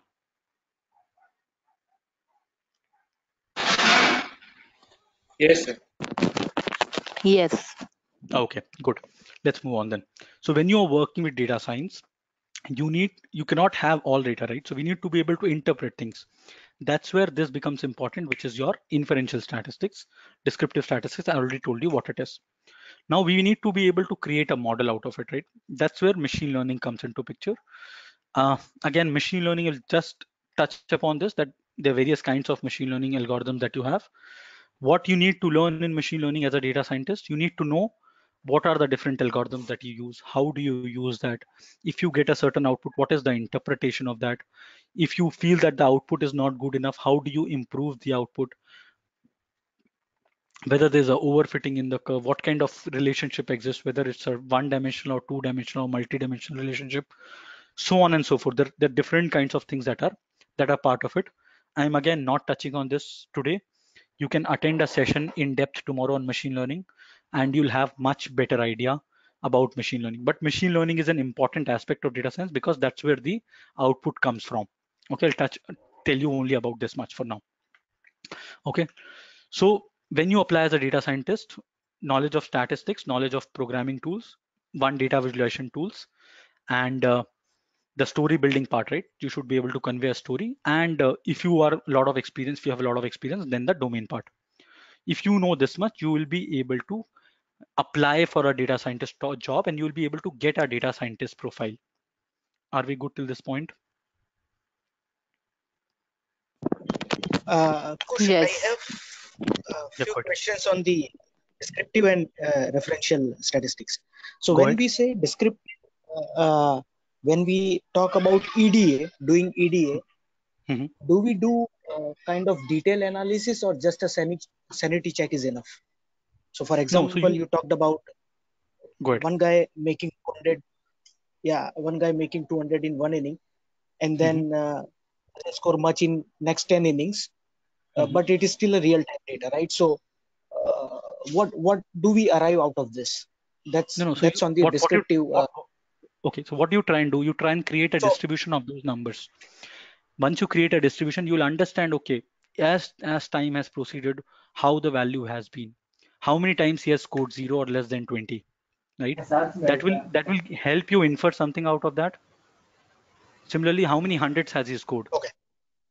how many consecutively he has done? I mean there are a lot of analysis that can be done right? So initially you are trying to uh, do a quality of i mean uh, at least when you start when you start right taking a problem you first start with basic analysis of data do an exploration understand the quality of data and then once you feel a little confident about it then you move to the second step which is more about in-depth analysis. Okay but you start with the quality of data. Clear? Okay. So this few Okay. myths Yeah. myths i just talked about i'll uh, come back to the other things. This is clear that this is a myth. These are two different things. Data science is uh, all about learning r and python. That's also cleared now that this is incorrect. You need to be an expert programmer as a to work as a data scientist. That's also a myth. It's not required because you already have a lot of pre-built code right? Um, these things i need to have worked on data science. Okay this thing also i've kind of uh, talked about but i'll just come back to this. Let- now just focus on these things which is more about transitioning to data science right? These parts these questions are more towards the transitioning to data science part let's focus on that part now. That how do you transition to a data scientist profile? Okay. All right. Now again the transitioning can be for uh, different sets of individuals. The transitioning would happen in a different way. Be very clear about it. Uh, for different people with different skill sets the transitioning will happen in a different way. This what i'm so showing you here is is a generic thing. On top of it i can talk about what is if your experience is less what if experience is in the in the you know in a mid zone and what if your experience is high i can talk about that individually as well So give me some time, I'll talk about that also. Okay, let's just focus on this first. So when you are transitioning to data science, make sure whether you are a fresher, whether you are two years experience, whether you are five years experience, whether you are stuck in your career and don't know how to move, it is important. It is very, very important that you not just learn data science. Uh, it is pretty important that you solve real-time cases. When I say real-time cases, real-time use cases. The data might not be real-time, but the problem should be real real-time use case problem. Okay, so a sim a problem can be as simple or uh, you know can be uh, a real-time problem. A lot of you can be can will be able to relate to this. So if you're working on say support projects, right, and you have tickets coming in, okay, uh, suppose there's a there's an organization where daily about 2,000 tickets come into the bucket, right? And now manually it's difficult for somebody to you know keep segregating those 2000 tickets into different buckets. So what has been done? There's a machine which is installed, uh, uh, which which does that, right? Say some rule-based machine which does that. Now it's not able to perform well, right? If you can bring in some kind of an machine learning into that and make the machine work pretty well, say achieve a accuracy of 98, 99 percent, a uh, lot of those tasks which are which are having getting stuck because the you know tickets are into wrong buckets a lot of that problem can be solved right? That that's a real time use case right? Now it's it's not that uh, you would have worked on this use case but if you know that okay this kind of use case exists and for a support project something uh, like this can also be there where machine learning can be applied and and you know if you showcase something of this also in your profile that that adds value are you able to make sense of what I'm saying? I'm saying it's not about solving end-to-end -end projects. It's not always that, you know, most of people who are transitioning to data science have not done it. When I say not done it means they have not really had a chance in their organization to work with it. Because if they were doing it, why would they transition to data science? Yes or no? If you're already working as a data scientist, what is the purpose of transitioning? Right? Yeah. Those people would not want to go out there and you know put a profile there. So very and earlier, if you take two years, three years, four years back, very very few people were actually doing that, right? At least in India. So when you go out there, people understand that you've not really worked on this. You're only you know might have worked it for a year or so, uh, and then if you showcase that much experience well, that is also enough. But it is imperative, it is very, very important for you to showcase your expertise in data science. And how will you show that you know things in depth? how will you know showcase that you know things in depth? By showing experience right? You can show talk about things that you have done. Otherwise how would i believe you have done worked on something? So the, the three four steps that you need to take. The first step that you need to take is you need to learn things in depth. Okay don't do superficial learning of data science. Again i'm saying be very clear about it. If you learn data science at a at a you know superficial level say java I, I know people you know java.net they just read a book uh, they say i've done this and they you know it's a theory question that is asked you know more or less standard questions. You you answer them you get a job. Correct? A lot of times that happens. In data science you will not get a job that ways. Be very clear about it. Okay if you really want to get a good job in data science you need to give yourself uh, you know uh, give you uh, yourself six to eight months at least and you need to be you know you need to work hard in that time frame. If you are if you work hard for six to eight months sincerely work on things learn things in depth you can very easily transition to data science. Okay? Again i'll talk about how different experience things will vary. But first of first and the foremost thing is you need to learn things in depth solve a lot of use cases right? The more cases you solve the more business problems you solve um, the better is your chance of getting started in data science. Okay the more more and more business cases you solve the better will be your understanding about how data science actually works. If you can and then in, in an interview also you'll have a lot of content to talk about right? When you go out there and interview the interviewer understands what kind of confidence you have how much content you have in your resume right if you really want to put that there you need to solve projects so when I say projects, I'm talking of use cases. The take a case end-to-end case, right? Don't take part of a small case. Take a take end-to-end case. Try and solve that case. Okay, how that will done? That that is different part. We'll talk, come out come to that. But uh, it is important that you you solve projects because that will give you a lot of content for your resume that will give you a lot of confidence that okay i know data science you give me a problem i know how to solve it right? And that confidence is very very important when you're solving problems okay? So this is very very important. Now second thing is now you might be working in say xyz field right? Try and see if there can be a bridge which can be created from your current profile to data science whether that is through uh, your data analysis part your sql part your programming part your um, domain part irrespective of whichever commonality you can find in your current profile and data science find that talk about it. Okay? Showcase that in your profile. Okay? So so that is something which will again help you. Why will that help you? Why will the because see when you when you put up your profile for a data science position imagine i know that you're working as a. net developer but if you can say i was a. net developer then i was working on specific things say a bit of reporting. Within my project there was some reporting requirement that i did. And then somebody told me that only reporting is not enough. You can go get into a predictive analytics domain. And i started learning data science. I solved a few projects. And now i'm somebody who knows predictive analytics and solved a couple of projects. Now this profile will be will be more suited to a interviewer or somebody who says i'm doing net and now i am a data science developer data scientist which one do you think will, will make more sense? This one, right? Or this one? So the reporting one. First one, right? First one will feel that there is a logical transition that is happening, right?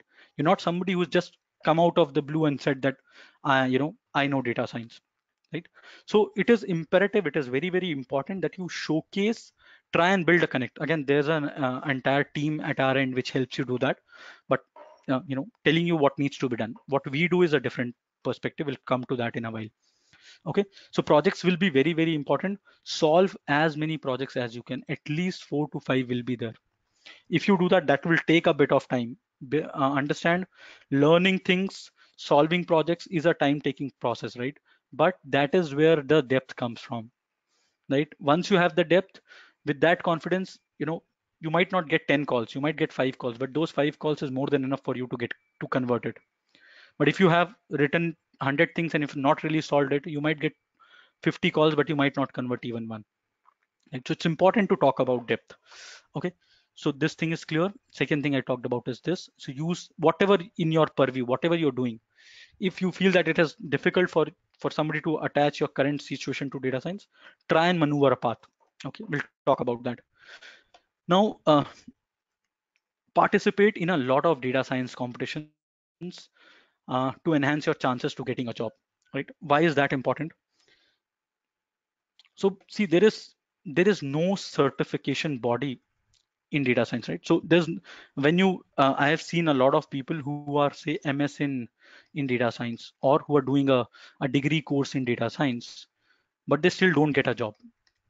Okay, and they've they've spent a lot of money right? So whether you do a course for 15 lakh rupees or 12 lakh rupees or 5 lakh rupees multiple people are offering such things. But do you want to be smart enough and learn things in depth and and you know solve few projects spend couple of months and get into the job? Or you want to you know go for a degree and then then get a job? So there's one way where which is a smarter path where you work on project okay, just do this here. So there's one smart thing that you can do. Okay, I want to learn things in depth. I want to solve a few projects and then get a job. The other is I want to get a degree and I feel a degree can get you a job. This does not work well in data science, primarily because even if somebody comes out there and interviews you, if you have not really learned things enough in a lot of depth, um, you will not be given. There are there are a lot of data scientists out there right who claim to be data scientists who have learned data science but are not getting jobs. I'm not sure if any of your friend is in that that area but there are people who who fall in that bucket. Okay? And why do people fall in that bucket? Because they have just somebody has taught them okay you know you do xyz things and that that is enough. But they have never gone back and and done the dirty work. You have to do the dirty work for two three months that will instill a lot of confidence in you okay are you with me so take the smart route don't go for just for a degree a degree course, a degree in data science is invented in the past two, three years. There was no degree course in data science for the, say five years back.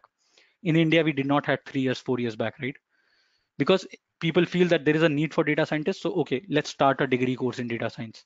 Take any institute out there, they're doing that, correct? Because they feel there's a brand name and they can attract students just because of the brand name. I would suggest you to take a smart decision. I mean, you go wherever you want to do, irrespective of wherever you want to do the course with. But it is important to learn things in depth. A, a, a certification in data science does not hold any value. Okay, why a certification? Um, when I say does not hold any value, it does not hold a significant value. Okay, why is that? Why am I saying that a certification in data science does not hold a specific value or a significant value? Anybody has any idea on this?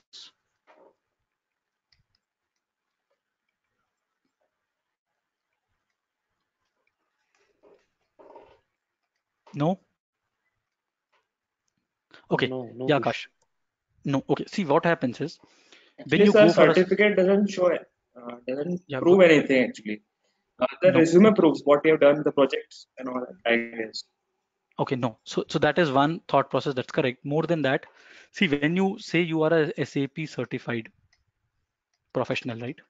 Does that hold value? It does, right? When somebody is looking at a profile and you say you are SAP certified, that holds certain value, right? Or you are an AWS certified professional, right? Do you get a AWS job job in AWS if you are AWS certified? Are you preferred or not? You are a preferred candidate, right? Why is that happening? Because AWS or SAP is a product based thing or it's a tool based technology, right? You learn the tool, you showcase that you have learned the tool. The certification comes from a globally recognized body. Correct? It's a SAP, AWS, these are globally recognized, right? Or a big data certificate that you get from Cloudera, right? Or Hortonworks. Again, that's a product based thing, right? You understand this? So that certification has value because there's an industry body which is certifying people. In data science, you have nobody who can certify you. When I say nobody, there is no governing body out there. If you don't have a governing body, any certificate that anybody gives you is from his or her institute or you know whatever you call it. So if you're getting a certi- certificate in data science whether they say it's a globally valid certificate ask them which industry body is certifying this. Can you name the governing body which has given you this uh, with which you are associated with? They won't have an answer because there's no body out there which is certifying you on data science. If there is no body what is i mean you take a certification from a you take a certification from b you take it from c does not does not matter. Okay? More than that if you if you do it from some if you know some kind of an uh, certification from from say very very reputed body. Um, unfortunately we really don't have a reputed body in data science um, that you can you can you know i mean when people go for ms degrees in data science right outside. So there that still recognizes it's still recognized because those universities have been conducting data science courses for five seven ten years. That's popular there to, to an extent that still has some value. In india i don't think there is anybody which actually does it in in depth. Okay? So that's that's uh, one of the reasons why I, I always say that it is more if, if you have solved participated in data science competitions. There are a lot of competitions which happen on which happen on kaggle on CrowdANALYTIX on on HackerEarth. Uh, there are multiple platforms right? Analytics Vidhya con, con, conducts uh, some competitions. If you participate in these competitions if you do well in these competitions um, that that is a much better that's 100 times more effective than a certificate in data science. Okay? So few things I'm, I'm trying to tell you is because I, I just want to make sure that you you are in the right track. Okay and and then it's important to to build a good resume where you showcase your expertise and not just put a few lines in your in your resume. Try and create you know whatever coding you're doing put that online on github or bitbucket or rpubs or jupyter the multiple platforms where you can have a profile. You can showcase that this is what i've done provide the link to that write lot of blogs where you say what it is and, and you understand you know what you have done if you can do those things that can add a lot of value to your profile. Okay? So just don't build a resume where where you say okay i've done this. Try and you know work a little more on that. Create a resume which is which is attractive enough for the other person to to to look at and and you know talk about it. Okay? So he should be able to shortlist you based on the kind of expertise you have. So if you he sees he or she whoever is is shortlisting sees a, a logical trend in the profile that is there. He sees okay this person has done a lot of good projects. This person has shown his github profile. He's, he's talking about things. So the chances of you getting shortlisted will be much much higher than somebody who's not done it. Okay? So so those are the things which will be more important. Okay let's just come back to this one more thing.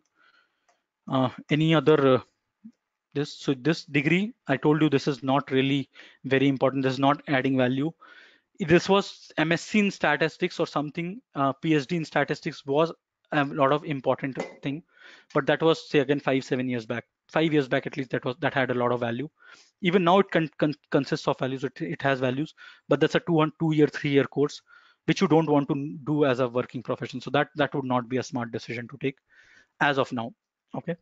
Uh, do you need to work in data related technologies? No right? I told you irrespective of where you are you can transition based on how the profile is is uh, maneuvered okay do you need to know everything to get started i told you you cannot okay let me just touch upon this also you cannot learn everything on data science right so big data is a different technology data science is a different technology data analytics I'll just put it as data science. Then um, artificial intelligence is a subset of it, right? This uses a lot of machine learning. So when you get started in data science, it is imperative, it is very, very important rather, not to get into everything. Don't try and get into everything. What you will do is you will, eh, you know, try and learn this, this, this, and it will become a khichdi here. You'll not really know because and it, you need to learn all of this. It's not that you don't need to learn all of this, but you need to learn this in a step-by-step -step manner, right? take one step at a time learn things see how much you have learned move to the next step right so on if you move ahead in that order you will find that it is so much more relevant okay? You will find a lot of relevance in that case. Otherwise what will happen if you try and learn everything in three months or six months um, know people are able to teach you everything in three to four months uh, it's very difficult. I don't know uh, how you will be able to you know take up everything. It's not feasible because until you do a lot of hands-on in data science it's not going to sink in. Okay? It's not really going to sink in. So you need to do a lot of hands-on and you need to learn things in in in a sequential manner okay so first you need to say focus on uh, machine learning once you have good with machine for machine learning you need to know okay I'll just draw this here so you need to know stats r python at least one of this right then you can be good enough with ML. Once you're good with ML, then you can go for a uh, deep learning course or AI course. And okay, a lot of disturbance from somebody. Can you mute yourself? Big data analytics profile. Okay, so you can first start with this. Once you're comfortable with that, do this, then move to the other things. Okay. All right. Uh, okay, I'll just last five minutes I'll take and then I'll take up the questions that you might have. Anything else I missed out here in the conception? Okay, certified data science, I talked about that also, that it's not something that is important. You can, you need to learn things in, in a step-by manner that I've already talked about. Let's quickly see what is our offerings and uh, what is it that we offer and uh, how do we offer that and then uh, then I'll quickly open the floor for questions. We can take up what, all questions you might have. Okay. Uh, all right. So now what do we do? We do only online instructor-led live sessions. We don't do classroom trainings primarily because it's we don't see uh, we see that there are a lot of problems when you work with uh, a classroom-based setup. You have to travel. You'll have to you know uh, spend time there. If you miss a class, there's a problem. You the classes are not recorded. Uh, when you have doubts, again there are problems. So um, and over a period of time, right? You need to learn take about six to seven months at least for for you know for you to become an expert in at, at least in in data science r python ml to to expertise in that at least six to eight months is required and you you cannot it's not that you'll not miss a class in six to eight months you will be missing a lot of sessions a lot of at least two three four sessions you'll miss in that period so it should not happen that if you miss a class next class is also bouncing out right So, so for all those issues that we have faced while doing classroom trainings two to three years back, three years back, we were also doing classroom trainings, but there are a lot of hassles out there. I could not move out, you cannot move out.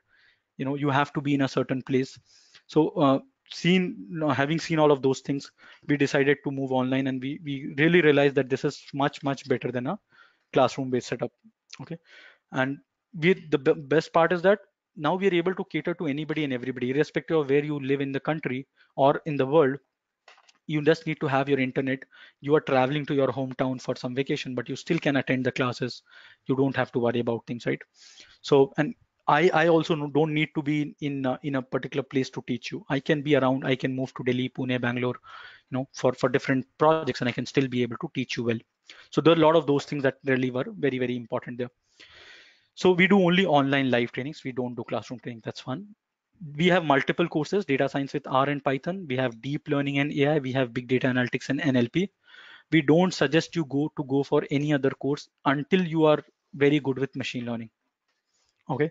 So here I'm talking about data science with R and Python, which is the uh, most of the people start with this course and then they go for the other courses with us. So this is the most important course that we'll do. This again is an in-depth course. It's not a you know basic course. It's an in-depth course in data science.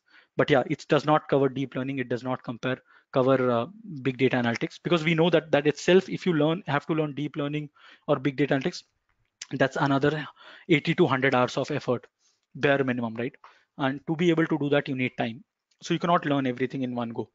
So data science with R and Python, it's a 200 hours of live sessions. Uh, we do 10 hours of live sessions every week and we take about 20 weeks to cover everything. Okay? 20 or 21 weeks to be precise there'll be a break also. So 21 weeks uh, to cover this entire uh, entire course in depth. Okay? What we'll do in those uh, course what are topics i'll talk about that for now just understand there will be 20 plus different case studies you'll be solving there'll be cases on r there'll be cases on python there'll be exploratory data analysis case studies you'll be working on uh, specific cases to see how much you have learned each of the topic. In machine learning, for every algorithm, you'll be solving at least two cases in the class with the trainer. Because if you don't do hands-on, you don't, uh, if you don't do hands-on, you don't learn data science. It's pretty simple. Okay. It's as simple as that, that if you don't uh, do hands-on in data science you don't learn. So you have to work with the trainer in the class and that is very very important. Okay? Uh, all right. Uh, then the timings that we follow. So we do 10 hours every week as i mentioned. On monday tuesday thursday and friday you do one hour sessions every day. So total you do four hours per week and these are the timings. Either you can do in the morning or in the evening. We give you two time slots for the weekdays because we understand somebody might be working, somebody might be busy on a given day on client calls and so many things happen, right? You have some personal commitments. So you are given two chances for weekdays to attend the sessions. For weekends, it is only one, which is on um, on uh, on Saturday and Sunday, 9:30 a.m. to 12:30 p.m. So every week you do 10 hours of live classes with the trainers, and uh, we are able to teach you in depth properly okay? And you do that for 200 such hours. We have done couple of hours till now right? So you can well imagine the kind of content that will come your way the kind of depth that depth that will come your way. Okay?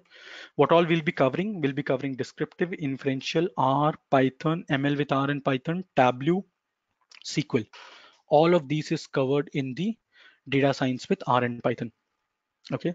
This is entirely live classes. We don't believe in giving a lot of recorded sessions. Only for sql we have recorded sessions. Everything else is live. Once you're done with that you work on um, during the course as i mentioned you'll be doing 20 different cases post which you'll be working on multiple projects at least four to five preferably from the domain that you are working with right? That will help us create the bridge right? Uh, the connection will be sim will be smoother then uh, while you can take dimensionless, okay, it's highly, very highly interactive sessions. We allow you to speak in the class. Uh, today we are talking more. We are, I'm asking you less questions. In the actual class, there'll be more questions which are asked.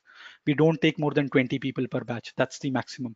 Okay, a lot of hands-on, highly qualified faculties. Uh, we are expert data scientists working in the field for about seven, eight years at least.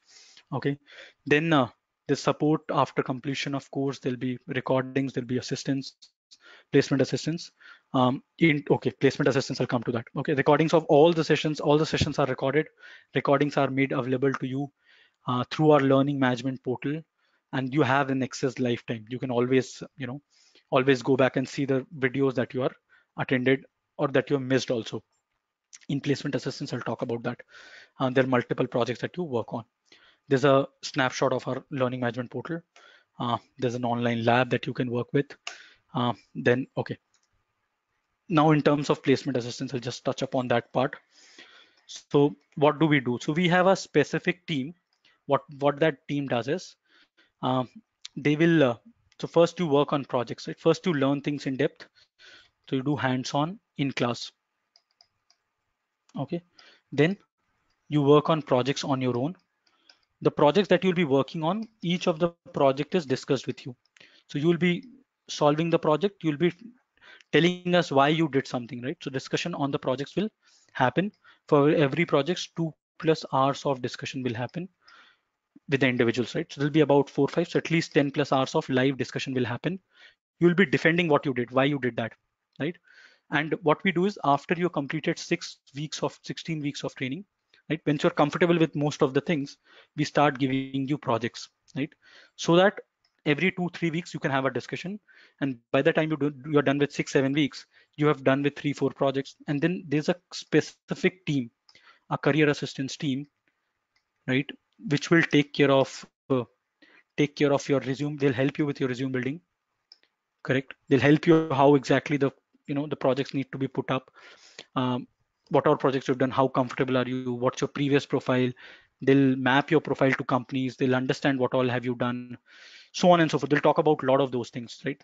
So they'll have individual sessions with you they'll ask for your profile uh, about after about a month of your joining uh, if you join us. So they'll uh, they'll ask you for your profile they'll understand it in depth they'll map each of the profile see what all you are doing what kind of projects you'll do. So they'll give you projects to solve right? What kind of projects you should be solving and then you help you put that project in your resume.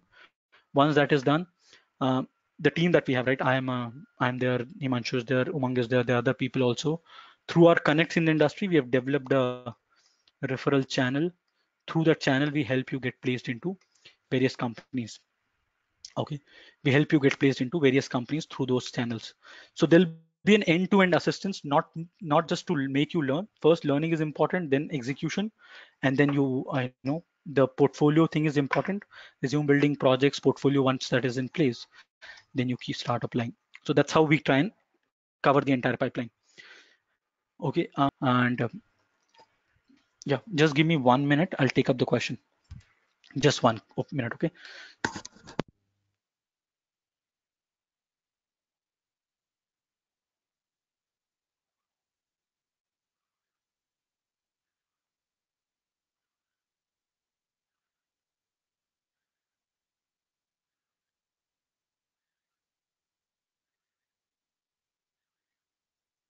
Yes, guys, I'm more than happy to take up your questions. Anybody has a question about this, you can answer that. I mean, I'll be more than happy to answer that. Tomorrow we have a session.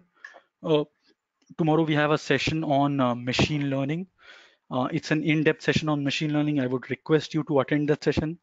You'll get a lot of insights from that, that session also. Okay. So machine learning I've not talked about, deep learning I've not talked about much, but yeah, that is something which will be uh, important.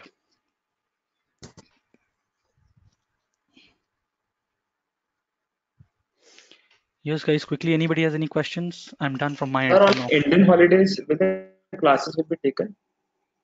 Indian holidays, see, either we do it on uh, like if someone is around. So, okay okay so generally what we do is for uh, weekdays suppose i mean generally indian holidays i mean we we don't follow a lot of holidays. Diwali is something where we obviously have a break. That's where the batch is starting from 12th number because after diwali a lot of you will be back. So that that's what we try and follow. Um, mostly otherwise the, the sessions happen either early morning or late evening. You have a chance to attend you know both the days. So mostly what happens we don't we don't face such issues. If you have a lot of people say that you know we will not be able to attend it we have problems then we obviously try and uh, try and accommodate for that but uh, generally we don't try and you know push things a lot I missed to join from starting of this. So could you please share? The, the recording will be present on our website uh, in a couple of days. You can always uh, see the recording. This recording will be present on the website in a couple of days. You can always uh, go through that. Yeah, So uh, I the have a question. Hi. Go ahead, one at a time. Okay, I'll just take the name and then you can go ahead. Yeah, Kavita, go ahead for now. Yeah. Uh, if I am missing uh, one of the session, is there a recording available so that before the next session I Okay, can go through the Okay, recording? I, I, I've mentioned that after every session, all the sessions are recorded. Within two to three hours, the recordings are shared with you uh, for all the sessions so that you can go back and revise. If you miss a session, you'll that recording is there even if you attend the session, right? So that if you want to revise also, you should have something, correct? Okay, Yeah. so all right. Uh, Saurav, any question you had? yes. Uh, so uh, yeah, my question is uh, like uh, for weekdays, you have Mhm. um, uh, showed that uh, there are two uh, timings. One is of Correct. morning and uh, another is of You can attend any one. Today you attend morning, tomorrow you attend evening. I'm okay with that. okay, so we can uh, interchange according to the You can certainly interchange. Okay, there's no problem with that, right? No problem with that. We see the idea is to make sure you attend classes, right? I mean, I am uh, putting for for um, say how much effort? 200 hours of effort actually becomes 280 hours of effort, right? Yes. But so for that 280 hours of effort that I'm putting in, the idea is to make sure that you don't miss classes. I mean, somehow we are very very lenient on that. We we don't want you to miss classes. That's why we've kept kept two different timings. Okay, Okay. and for the Now entire course, you will be training us, or no. uh, There'll be other people also. There'll be Himanshu, who is an IIT Bombay uh, pass out, again 11 years experience in the industry. He'll be taking, he might take tomorrow's session on machine learning. He's uh, better than me, mind you. He's better than me, so you'll you'll find him even more interesting. that's okay. But There uh, I there can be other faculties. There can uh, be other faculties as well. Yeah, what, what I'm trying to tell you is that whatever faculties take your session, they'll be more than competent enough to answer any question that you have in the class. We are not like that. This question I don't know. I'll I'll not be able to answer. Every question we'll be answering. In case something that is out of the box, we can always say that today we don't know. Tomorrow we'll check let you know. But uh, all the questions will always be answered. Okay. okay, okay.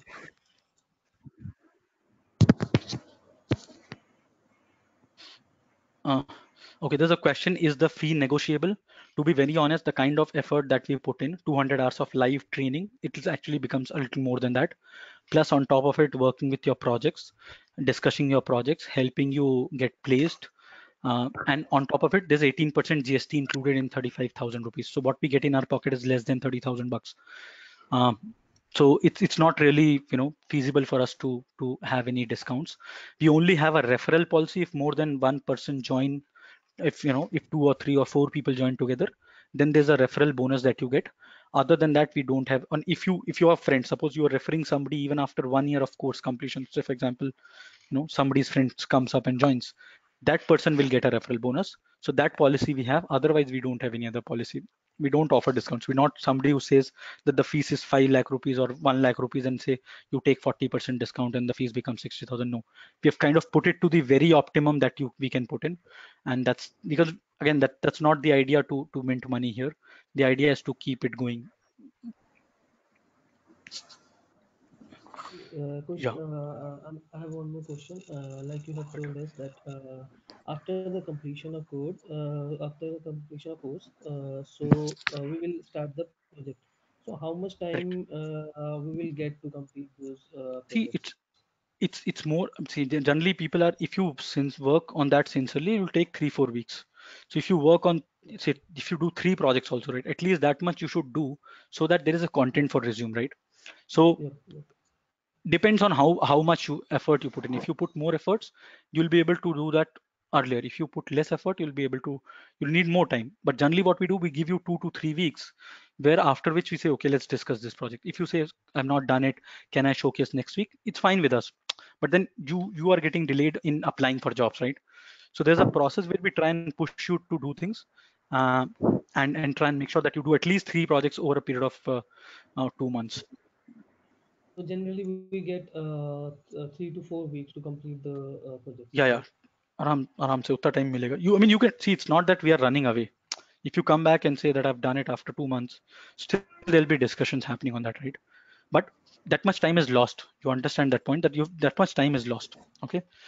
Okay. Wasim has a question.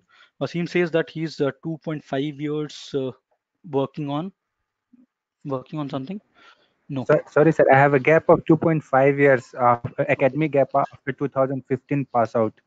Okay, hold on. So I I have read the question. Yes, so in 2015 pass out, I've had 2.5 years of gap. Uh, will this gap cost me in getting jobs after completion? See, to be very honest, uh, it's not a six month or one year gap, um, which can easily be justified. You've spent a certain amount of time. If you have been working hard in this time frame and you've been working for something, and uh, you've decided to take some other course in your life, you know, whatever you were pursuing, you can always say that I was trying to do this. That did not materialize. Does not mean your life ends here. Correct? You need to take another course and you need to get ahead. Uh, you know, whichever path you feel is comfortable for you. So you can always talk about it in a way that you say, I was doing this, I did this, and then for some reason I was working on this, which I could not do. But there, you there has to be a genuine, uh, you know, genuine talk there. It cannot be a, a storytelling that you do.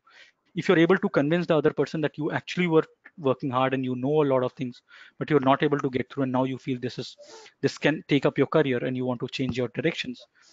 Um, you know, showcase a bit of experience, showcase about you know basics that you know, uh, talk about that, but it it it will not be very straightforward as straightforward as somebody who's already working. It will be a touch difficult from them but it's not impossible. There are people i've seen who can who who take uh, you know uh, and again in your case it will be a smaller companies who will prefer you more than a large bigger organization. Because bigger organizations have a lot of options. Smaller organizations have comparatively lesser options. So they would also want they would want to attract talent more than the uh, more than the uh, what do you call it? The profile. So they are more interested in the uh, in the talent. If you really showcase that you understand data science well i'm sure at least there'll be enough companies out there who can who can uh, take you. Okay? Uh, there's one more question coming up. I'm planning to join from january. Do you some issues with current project? Yeah. So if we start a batch every every other month hopefully so you can join us uh, join us uh, through that right so that's not a problem so whether you want to join in January or December or February, that's okay. 12th of November is when we are starting a new batch. There in that batch, we have, I think about uh, 13 odd registrations are already done, uh, whose money we have already received. Are few people who said they want to register but not paid. So I'm not considering them for now. Uh, Yeah, Kavita. I have a question. Uh, Go ahead. uh, I am currently working. I have been in the claims industry for last 15 years Mhm. and I am 37 year old.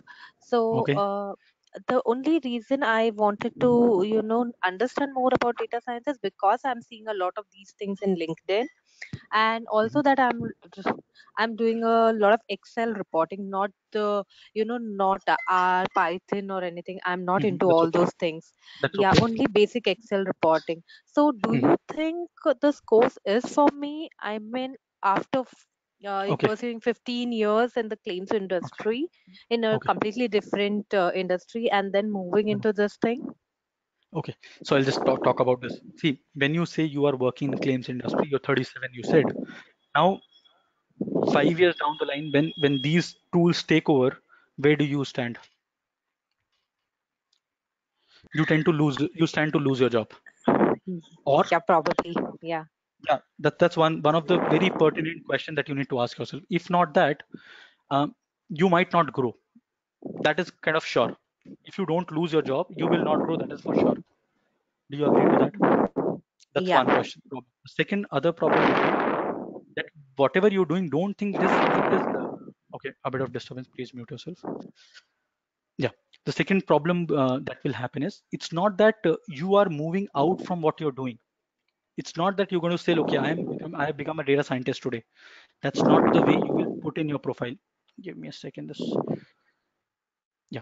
So that's not how you will put in your profile. Rather, what you will say is i am somebody who has been working with data. I understand excel. I understand reporting. But now i'll also do predictive modeling with the data. So how many claims do you get in a month? What kind of claims this, that those will be right? How you will uh, you know what kind of claims are fraudulent claims? There's a lot of you know analysis which is happening in that particular area kavita. So if you can do such cases that can actually propel your career into a very different direction. I'm i know it'll it'll not be you know uh, just a flip there but those things if you know that will certainly help you grow very fast. That's one thing. Plus you'll you'll rela- remain very very relevant in the industry. So i i certainly feel it will add a lot of value to your profile. You need to understand how predictive modeling can be used in your case.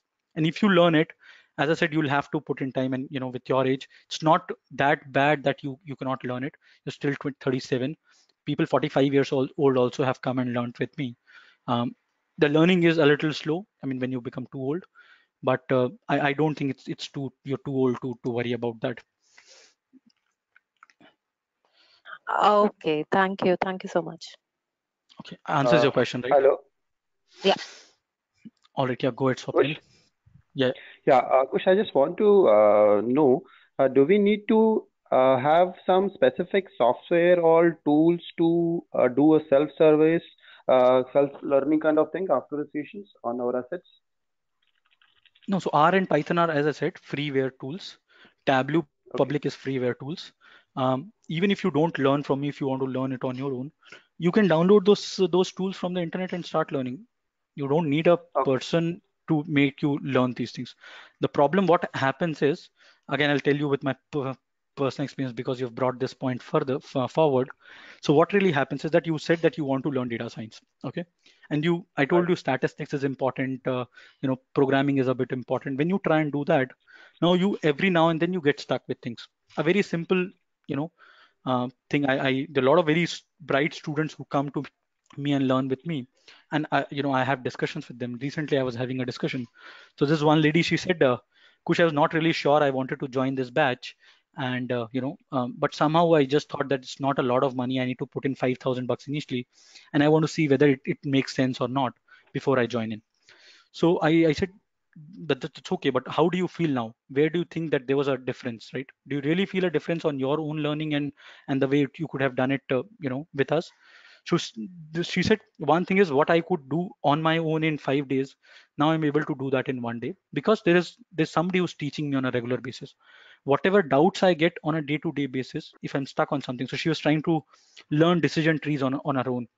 And she was stuck in a very simple problem and she tried that for a week and she still you know she started uh, with data science. She's doing data uh, the machine learning on her own because she's she's very eager I'm, I'm telling you she's very very smart. So she was trying to do that and then uh, uh, she was stuck in something. Now when she said uh, okay kush can you give me half an hour of yours? I just want to discuss that.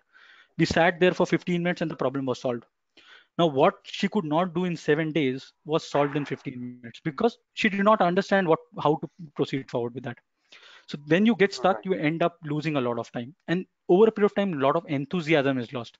More than the time, no, you will lose the enthusiasm, and if you keep missing, if you lose that over a period of time, um, you know, you you don't reach out anywhere. Again i'm telling even when you learn with me or with anybody else you have to put in efforts. It's not that your effort is not required. You need to put in 6 to 8 months of hard work will be required to become a data scientist. But that will become 6 to 8 months will be will, will be enough to do that and you'll, you'll the learning will be very fast and and good in-depth learning because you you know that what you need to be learned how it needs to be learned what i need to not focus on and and you know how to proceed with that that's where Right. you know people like me can help Yeah, I understand that. My only point is that after this uh, online session, that if we want to practice have at our end, I just thought that you'll have do we need you'll have enough have software or tools? for this or not?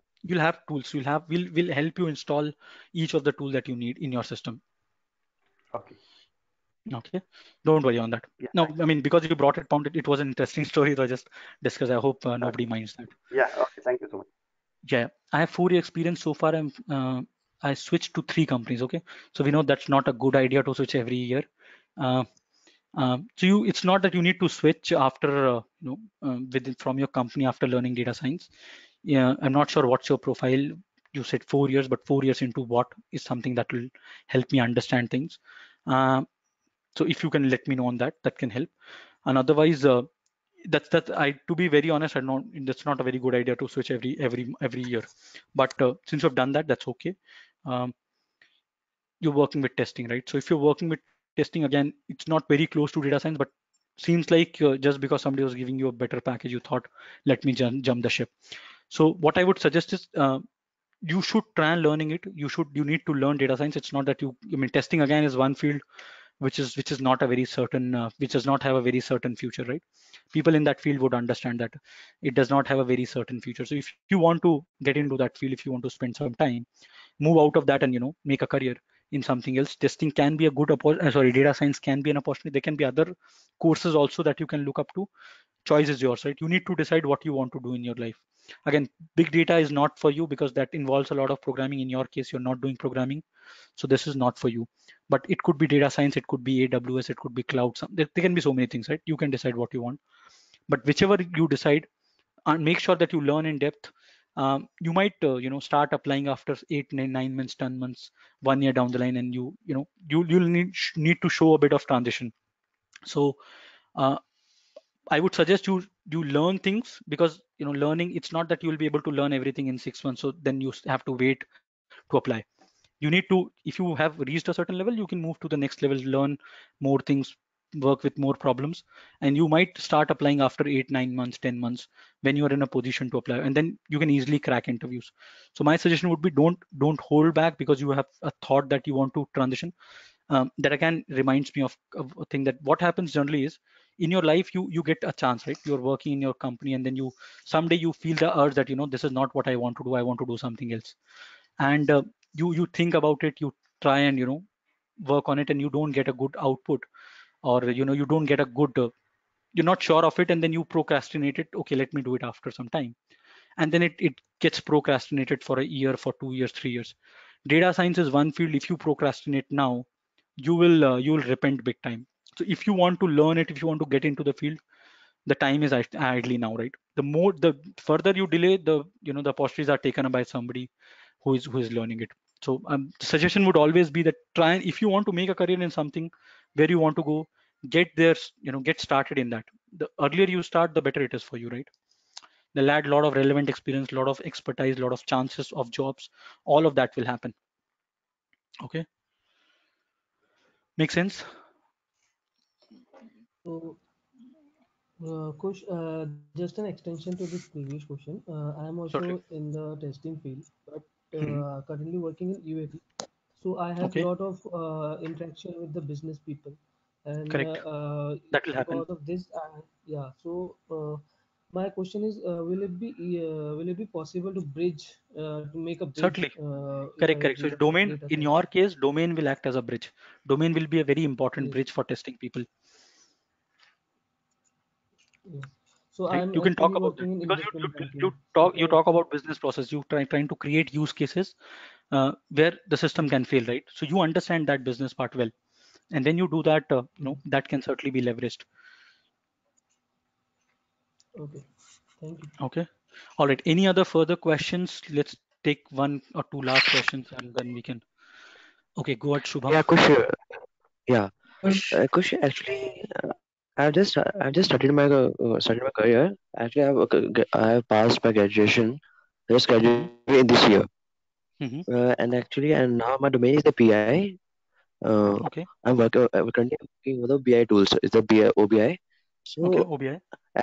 Ju- Yeah, as just told us that the DS uh, DS is another part, data science, data science is another another thing, and data analysis is another thing. So hmm if if I just started to learn for the data science, so, hmm so is there necessary that I have to put some some part of uh, some part of months in No, the D, DA and then no, start. I have to start DS? no, no. Okay, okay, I get your point.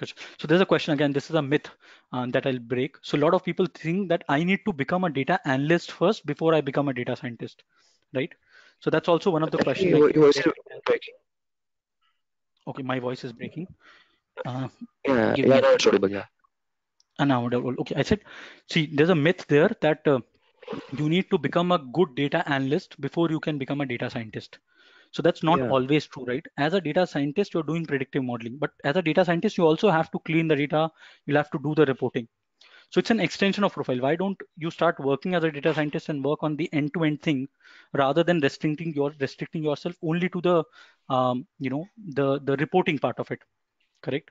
And i mean, Okay. since you you passed out this year, um, you would know, right? Companies are hiring big time, even freshers, right? So people with less than one years, two years experience are being hired.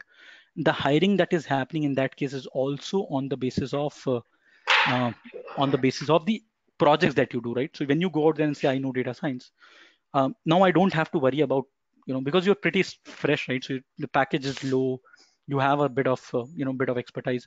Even if your knowledge domain is low, there's a chance that I might take you because I might need some some people in in that bracket also. But most of my people will come from four to five years bracket. Okay, I mean just saying the average experience would be in that, but it's not that you'll not get a job. There are openings in your case also and people are offering much better salaries for a data scientist profile. So if you can get started with that that can give you a good push to your career making sense shubham so it's not that Yeah. because that that's something which has been doing people have been doing for 15 years so that's okay if you know about it parallelly you can you know read about it that's, that's nothing wrong in that but yeah if you can start as a data scientist that will uh, give a further boost to your career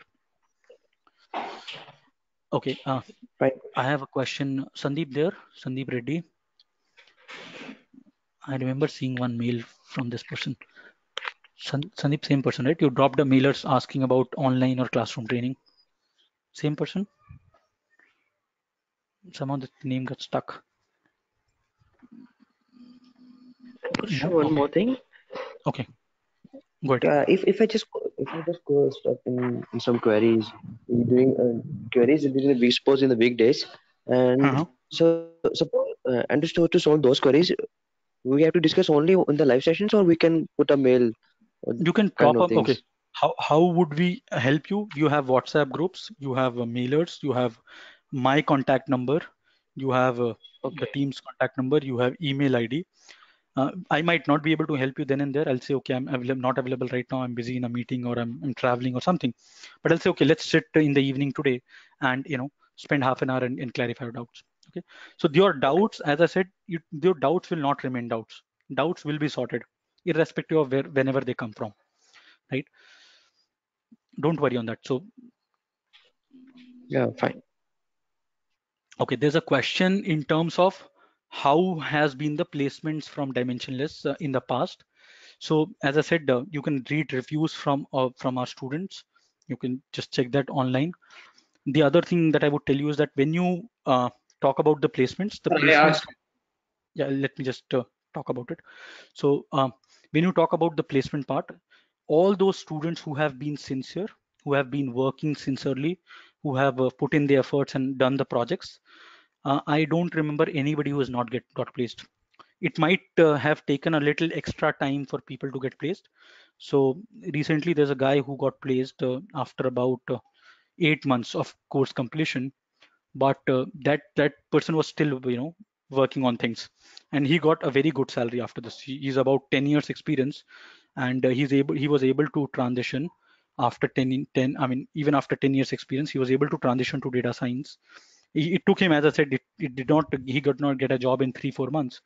Uh, he got a job after about uh, uh, eight eight months of course completion. And uh, but but his, his salary package was you know much better than what he was expecting. Because he, he- in those six eight months he was still learning things and there's a lot of depth that he acquired. So he was able to leverage that also in the interview. So uh, the placements have been uh, very good. I would not say you know that everybody got placed. No that's not the case. If you don't put in effort if you don't i mean we'll we'll push you to do things to work on projects to solve problems. We'll push your cvs around. But if you don't put in efforts it will not result in things. Though all those people who have been sincere and worked uh, you know worked with us on hands on and in you know in the projects all of them almost all of them have got placed. I have to check if there's somebody who's still not placed. Okay that answers your question akash? Yes sir. Thank you sir. Okay. Uh, any further question one final question if you have or else i'll just leave. I think it's uh, been speaking for two and a half hours now. It's uh, the throat is giving way. Hello? Hello sir.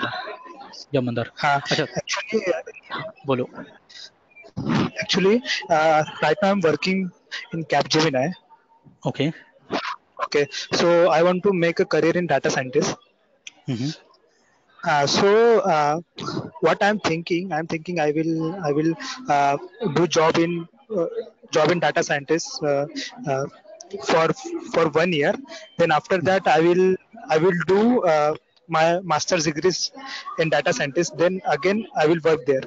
So i want to know your opinion on this. No that that's that's a wrong uh, thought to have. Because Okay. when you when you okay just mute yourself. There's a bit of background noise. Okay. See why do you want to go for a master's degree? There must be a reason to it right? Either you're trying to create a product you're trying to work with uh, you know algorithms in depth. Now the good part about is the problem happens when you get started right? You don't know about it so when you have already you you learn data science well you put in efforts to you know six to eight months effort you put in you learn data science. You work as a data scientist for about a year. Once you have done that now a lot of other things you have learned right? Now you know, don't need to focus on a data science ms degree. See don't worry. Again i've told you don't worry on degree. Degree is not going to help you. It's just a, a certificate which says okay you have done something. But if you're actually working on something and if you rather than doing that if you solve you know take up say deep learning and take up a specific uh, uh, you know applications of data science. If you try and work on those parts that can add far more value to your profile right? So i don't think ms will help you. Whatever whatever experience you have that's good enough. That's okay. You you try and learn data science now in depth uh, because in, if you go for an ms also you'll you'll spend a lot of money right? And that's not really going to give you that much benefit. You can i was mentioning that right? Do take a smart decision. Why do you want to throw it all the money in and then end up at the same position where you are? Rather than why don't we just you know upgrade ourselves learn our things learn things well and then with that skill we try and uh, ask for jobs or you know ask for a better package. So that is that would be more more suitable than uh, because a practical expertise is, is so much more important than than a ms degree. Again get out of that mindset of degree thing. Being very honest there. Okay fair enough mandar makes sense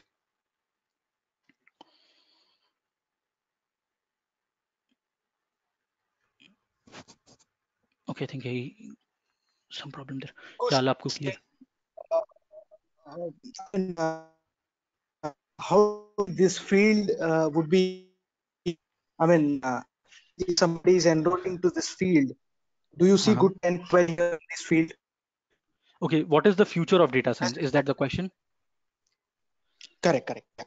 As a Okay. career. Okay as a career. See when you why are we talking about data science? Again a very good question. I'll just talk about i'll just talk about this. I get your question. See okay why are we talking about data science today? The problem is that the existing tools and technologies that we had the existing amount of data that we had was not enough to solve business problems. Correct?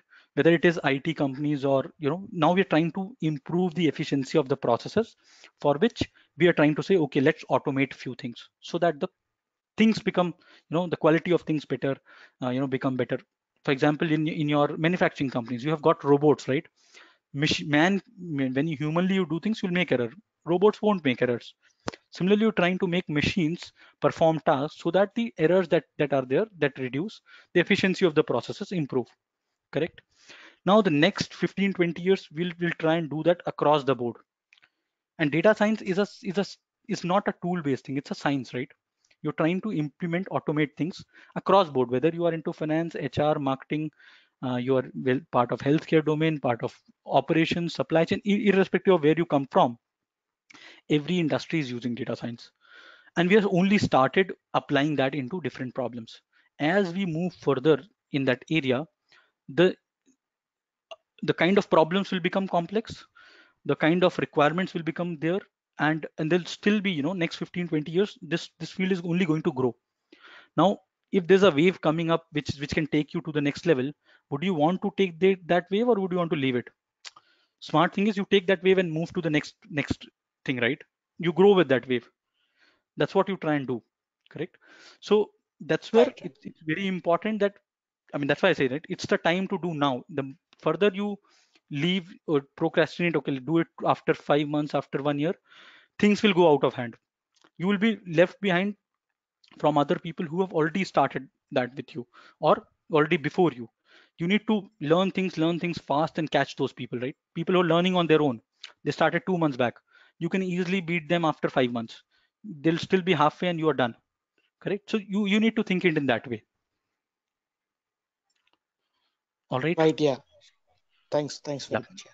no problems all right so i think i'll stop here Uh, my my throat is really paining now uh, appreciate your being here i hope all of you were able to add i mean i was able to add value to you tomorrow session try and attend again i'm saying it will add more value to you and uh, we can take it forward from there okay thank you so much guys uh, bye bye take care Thank you very much, Kush. Thank you. Okay mandar got off okay he saying something Uh, no, sir. Thank okay you. those who are good can, can drop off that's okay those who are good can drop off uh, uh, mandar you were saying something i don't know you dropped off whether you were able to listen to my answer that i gave you mandar Shubham कुछ बोल रहा हूँ Hello. Hello, Kush sir. Yes. Minute, Mandar Mandar just a second just second Mandar Yeah. Yeah. हाँ शुभम कुछ बोल रहे हो क्या Uh, yeah, yeah, Kush. Kush, one thing, as we have just told that we have to go, we have uh, to cover all these things. We have to go step by step. So first we Hmm. will cover uh, for this uh, data science with the R and Python. Only, Then you only can this go- thing will be uh, for the Sorry. these or 200. uh, 200 hours of live training is data science with R and Python only. That's not that does not include deep learning. That does not include uh, uh, big data analytics. See, if, be you it you need machine learning. Machine learning is part of it. Data science with R and Python, you cannot become learn data science without doing machine learning. If somebody tells you that I want to teach you data science without machine learning, that person is fooling you. Okay, so you see the maximum effort is on machine learning. 70 hours of out of 200 hours is on machine learning because that's the crux. If you don't know that, you don't know data science. Plain and simple. Okay. Thanks, Kush. Thanks. Yeah. Okay. Mandar, quickly, were you able to uh, listen to the answer that I gave you, Mandar? Uh,